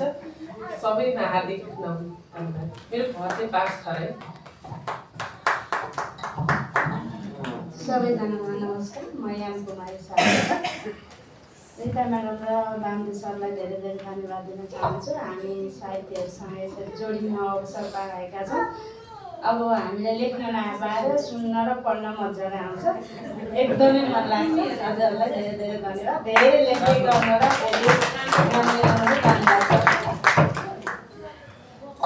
धेरै मेरो घर चाहिँ दाङ म पेसाले निजामती कर्मचारी। हो। र म चाहिँ नेपाल निजामती कर्मचारी सङ्गठनको सचिव पनि हो। हामी विविध क्षेत्रहरूसित एकाकार गर्ने क्रममा सायद यो हलमा दोस्रो पटक होला। र हामी नियमित कार्यक्रमहरू सञ्चालन गरिरहनु भएको छ महिला दिदीबहिनी साथीहरूले र साहित्यकार साथीहरूलाई हामीले सहयोग गर्ने गरेका छौँ। विविध रूपमा र यो क्रमलाई हामी कर्मचारी सेक्टरबाट केही अग्रज दाईहरू यसमा लाग्नु भएको छ। र हामीहरूले पनि यो फरक विधा जसले देश निर्माण कसरी गर्छ देशमा भएका विकृतिहरू अघि सरले सुनाउनु थापा सरले ती यावत कुराहरू र भोलि हाम्रा आफ्ना विधाहरूमा छन् ती विधाहरूबाट हामी कुनै ठाउँमा जाँदा यी तलका कुराहरू जसले सचेत विद्युत वर्गले उठान गरेका विषयवस्तुहरूलाई कसरी आफ्नो ठाउँबाट कार्यान्वयन गर्न सकिन्छ भन्ने हेतुले नै हामी नेपाल निजामती कर्मचारी सङ्गठनले एउटा स्रष्टाहरूलाई पनि हामी जोड्ने गरेका छौँ। यो वर्ष जलेश्वरी दिदी अघिल्लो वर्ष चाहिँ हाम्रो भागवती दिदी र हाम्रो मन्जु दाईलाई हामीले सम्मान गर्ने गरेका थियौँ। र नव प्रतिभाको रूपमा चाहिँ दुईवटा स्रष्टा। अहिले गजल गजलकारको रूपमा चाहिँ हाम्रो सिन्धुलिया कमला सिन्धुलियालाई गऱ्यौँ भने गत वर्ष हामीले सुधे सत्यालाई गरेका थियौँ र गत वर्ष हामीले खुला कविता प्रतियोगिता गरेका थियौँ। अहिले खुला गजल प्रतियोगिता गऱ्यौँ। र हामी सिक्दैछौँ। तपाईँहरूले देखाएको बाटोहरू हामी सिक्दैछौँ र यो क्रममा हामीहरू तपाईँहरूको अनुयायी भएर हामी सहयोग पनि गर्दैछौँ। र यो कार्यक्रमलाई निरन्तरता यसरी चाहिँ हौसला प्रदान गर्ने पनि काम गरेका छौँ। मेरा सह सहयात्री मित्रहरू हुनुहुन्छ। अरू साथीहरू पनि हुनुहुन्छ। उहाँहरू आज व्यस्तता कारणले हाम्रो यो कार्यक्रम आठ गतिलाई फिक्स गरेको थियो। र अचानक चाहिँ टाइम चेन्ज भएको कारणले अरू साथीहरू पार्टिसिपेट हुन चाहिँ अलि सक्नु भएको छैन। र यति भन्दै तपाईँहरू साहित्यकार अग्रज स्रष्टा सम्मानित व्यक्तिहरूमा नमन गर्दै म बिदा चाहन्छु। धन्यवाद कार्यक्रम हाम्रो औपचारिक कार्यक्रम अब हामी सक्दैछौँ। हामी दाइलाई थाहा थिएन। म पछि जोड्ने नै थिएँ। श्रीमानले गरेका कार्यहरूमा श्रीमतीले साथ नदिए र श्रीमतीले गरेका कार्यक्रमहरूमा श्रीमानले साथ नदिए सम्भवतः सफल कमै हुन्छ। म कुनै पनि कार्यक्रम गर्ने बेलामा उहाँको निध हराम गरिदिन्छु। तर उहाँले भने आफ्नो कार्यक्रम गर्ने बेलामा मेरो निद हराम गर्ने गर्नुहुन्न फरक यति छ। यो हल उपलब्ध गराइदिनु भएको छ। यो हल उपलब्ध गराइदिनु भएको छ। र मैले भने सौभाग्यले भेटाएको छु। त्यो सौभाग्य अलिकति चोरेर भनिहाले। हाम्रो रमेश क्षितिज दाईले जुराइदिनु भएको यो। रमेश क्षितिज दाईको प्रोग्राममा जाँदाखेरि रमेश क्षितिज दाईले रोल्पामा कार्यक्रम गर्दै गरेको एक महिनापछि हामी सम्बन्धमा जोडिएका हौँ। साक्षी हो रामचन्द्र आफू पनि साथी हुनुहुन्थ्यो। र यो हाम्रो कृष्ण दाई पनि म पनि थिएँ भन्दै हुनुहुन्छ? अब हामी यो कार्यक्रम सञ्चालन गरिरहँदा सम्भवतः म प्रत्यक्ष रूपमा जोडिए पनि मेरो साथी निर्मला खोयाले एकचोटि उठिदिन हुन अनुरोध गर्दछु। उहाँले अत्यन्तै लगनशीलताका साथ उहाँले पनि आफ्नो काम छोड्नुहुन्छ। उहाँलाई पनि उहाँको पनि एक दिनको चाहिँ म निकै हराम गरिदिन्छु। ल छुट्टु छ यसो गर्नुपर्छ भनेर। त्यसै गरी विमला कार्की दिदी आज विशेष कारणवश उपस्थित हुन सक्नु भएन। यादेवी ढकाल दिदी उहाँको त महिनैभरि उहाँको र मेरो त महिनैभरि चलिरहन्छ। यादेवी ढकाल दिदी कता हुनुहुन्छ हो? उठिदिनु हुन अनुरोध गर्दछु। यादेवी ढकाल दिदी त झन् मैले यो सुरुमै अब एक महिना अठाइस गते अब हामी अन्तिम शुक्रबार भरेदेखि उहाँले एक दिन पनि मलाई फोन गर्नु भने कहाँ जानुभयो छटपट्टि भइहाल्छ क्या? छटपट्टि सुरु हुन्छ। त्यसरी लाग्नु भएको छ उहाँ आफै। दुर्गा भवानी भट्ट जो आज आउनुहुन्न भन्ने लागेको थियो। यो कार्यक्रमलाई यो कार्यक्रमप्रतिको मोह देखेर मलाई अचम्मै आफैलाई अचम्म लाग्छ। नजोडिनु आज जोडिनु हुन्न भनेर मैले भनेको थिएँ। र त्यस्तो अवस्थामा पनि उहाँले कोही आफन्त गुमाउँदै गर्दा पनि उहाँ जोडिनु भएको छ। सम्भवतः यो हाम्रो माया र आत्मीयता नै हो। यसरी हामी अगाडि बढिरहेका छौँ। अब हामी यो औपचारिक कार्यक्रमलाई यहीँ समाप्त भएको जानकारी गराउँदै अब हामी अनौपचारिक कार्यक्रम नाचगान चिया खाएर अनौपचारिक कार्यक्रमतर्फ प्रवेश गर्छौँ। धन्यवाद। हस् उता यता अब पानी परेछ भने यसरी खाना खाएर छुट्टिने फेरि। ल। दर खाने दर। अनि यहाँ सुन्नु न दरको कुरा आइहाल्यो होइन? मलाई मैले अशोक हाम्रो डक्टर अशोक थापा सरले मलाई सोध्दै थियो तिजको कार्यक्रम हो। यहाँ हामी तिजको दस्तुर बुझाउँछौँ होइन यो हामी विशेष अतिथि बोलाएको छौँ। यसमा हामी आत्मीयतासहित हामी हजुरहरूलाई बोलाउँछौँ। कुनै बेला हजुरहरूले हामीलाई बोलाउनु भयो भने हामी त्यसमा आइदिन्छौँ। ग्रुप फोटो चाहिँ एउटा खिचौँ है यो अवसर पाइँदैन मैले रमेश दाईलाई आज रमेश खोजेर ल्याएको छु के भन्नुहुन्थ्यो भने उहाँले सक भर सकमा आउँछु भर सक होइन दाई सक भर आउनुपर्छ मैले चाहिँ लेखेकै थिएछ अनि त्यसपछि यहाँ बस्नु पनि हुन्छ दाईको चपेटा अब प्रशासनिक पनि उच्च उच्च स्तरमा भइसकेपछि त्यो अब हरेक हिसाबहरू हुन्छन् होइन त्यो हिसाबमा पनि जोडिन गाह्रो छ। दाइले दाइले सदा सहायता भनेको प्रत्येक कार्यक्रममा दाइको र मेरो छलफल हुन्छ कति म जोडिरहेको हुन्छु होइन? दाइले गयो कति सदा सहायता दिनुहुन्छ। मन्जु दाई बिरामीबाट उठेर मन्जु दाईको त कुरै नगरौँ उहाँको त नानी बाबु सबै यहाँ आज मन्जु दाईको कुरा नगर्ने चर्चा नगर्ने मन्जु दाईका कवितालाई चाहिँ गुरु बनाएर नलेख्ने कोही पनि हुनुहुन्न थियो त्यति राम्रा कविताहरू लेख्नुहुन्छ। सुस्मिता दिदीको आत्मीयताको कुरै नगरौँ होइन त्यस्तै अब रेणुका दिदी त मैले यो कार्यक्रममै रेणुका दिदी पर्सि म आउँदिनँ है आठ गते मैले नन्द भाउजूलाई बोलाएको छ भने तपाईँ नआए त्यहाँ को नाच्छ रेणुका दिदी कल्पना होइन त्यो अर्थमा पनि यो कार्यक्रम सार्ने हो दिदी तपाईँ आउनुपर्छ भनेर मैले दिदीले त यो बोल्दै मात्रै होइन क्या? यो त नाचेर यो हरेक क्षेत्रमा रमाइलो गरिदिनुहुन्छ क्या? दिदी जोडिँदै पर्छ। कहिले चाहिँ अनि मलाई भन्छ नि त तैँले रेणुका दिदी रेणुका दिदी भन्छस् भनेर आरोप लगाउँछन् क्या? अब भन्नुपर्ने मान्छेलाई नभनेर अरूलाई त भन्न सकिँदैन नि त त्यही हो। हुन्छ। एकदम धेरै धेरै धन्यवाद सबैलाई। रजनी दिदी व्यस्तताको बावजुद पनि आइदिनु भएको छ। देख्दैछु साथी दिदी उहाँहरू अब आजकल धेरै भेट हुन थालेको छ दिदीहरूसँग मेरो। एकदमै खुसी छु। अब हामी अनौपचारिक सेसनतिर प्रवेश गर्छौँ र फोटो त्यो ग्रुप फोटो कतै खिच्ने व्यवस्था गरौँ। अनि बाहिर बाहिर अथवा काहीँ। चिया त यहीँ भित्र बसेर खाइदिए हुन्थ्यो है। चिया खाएर निस्क्यौँ न त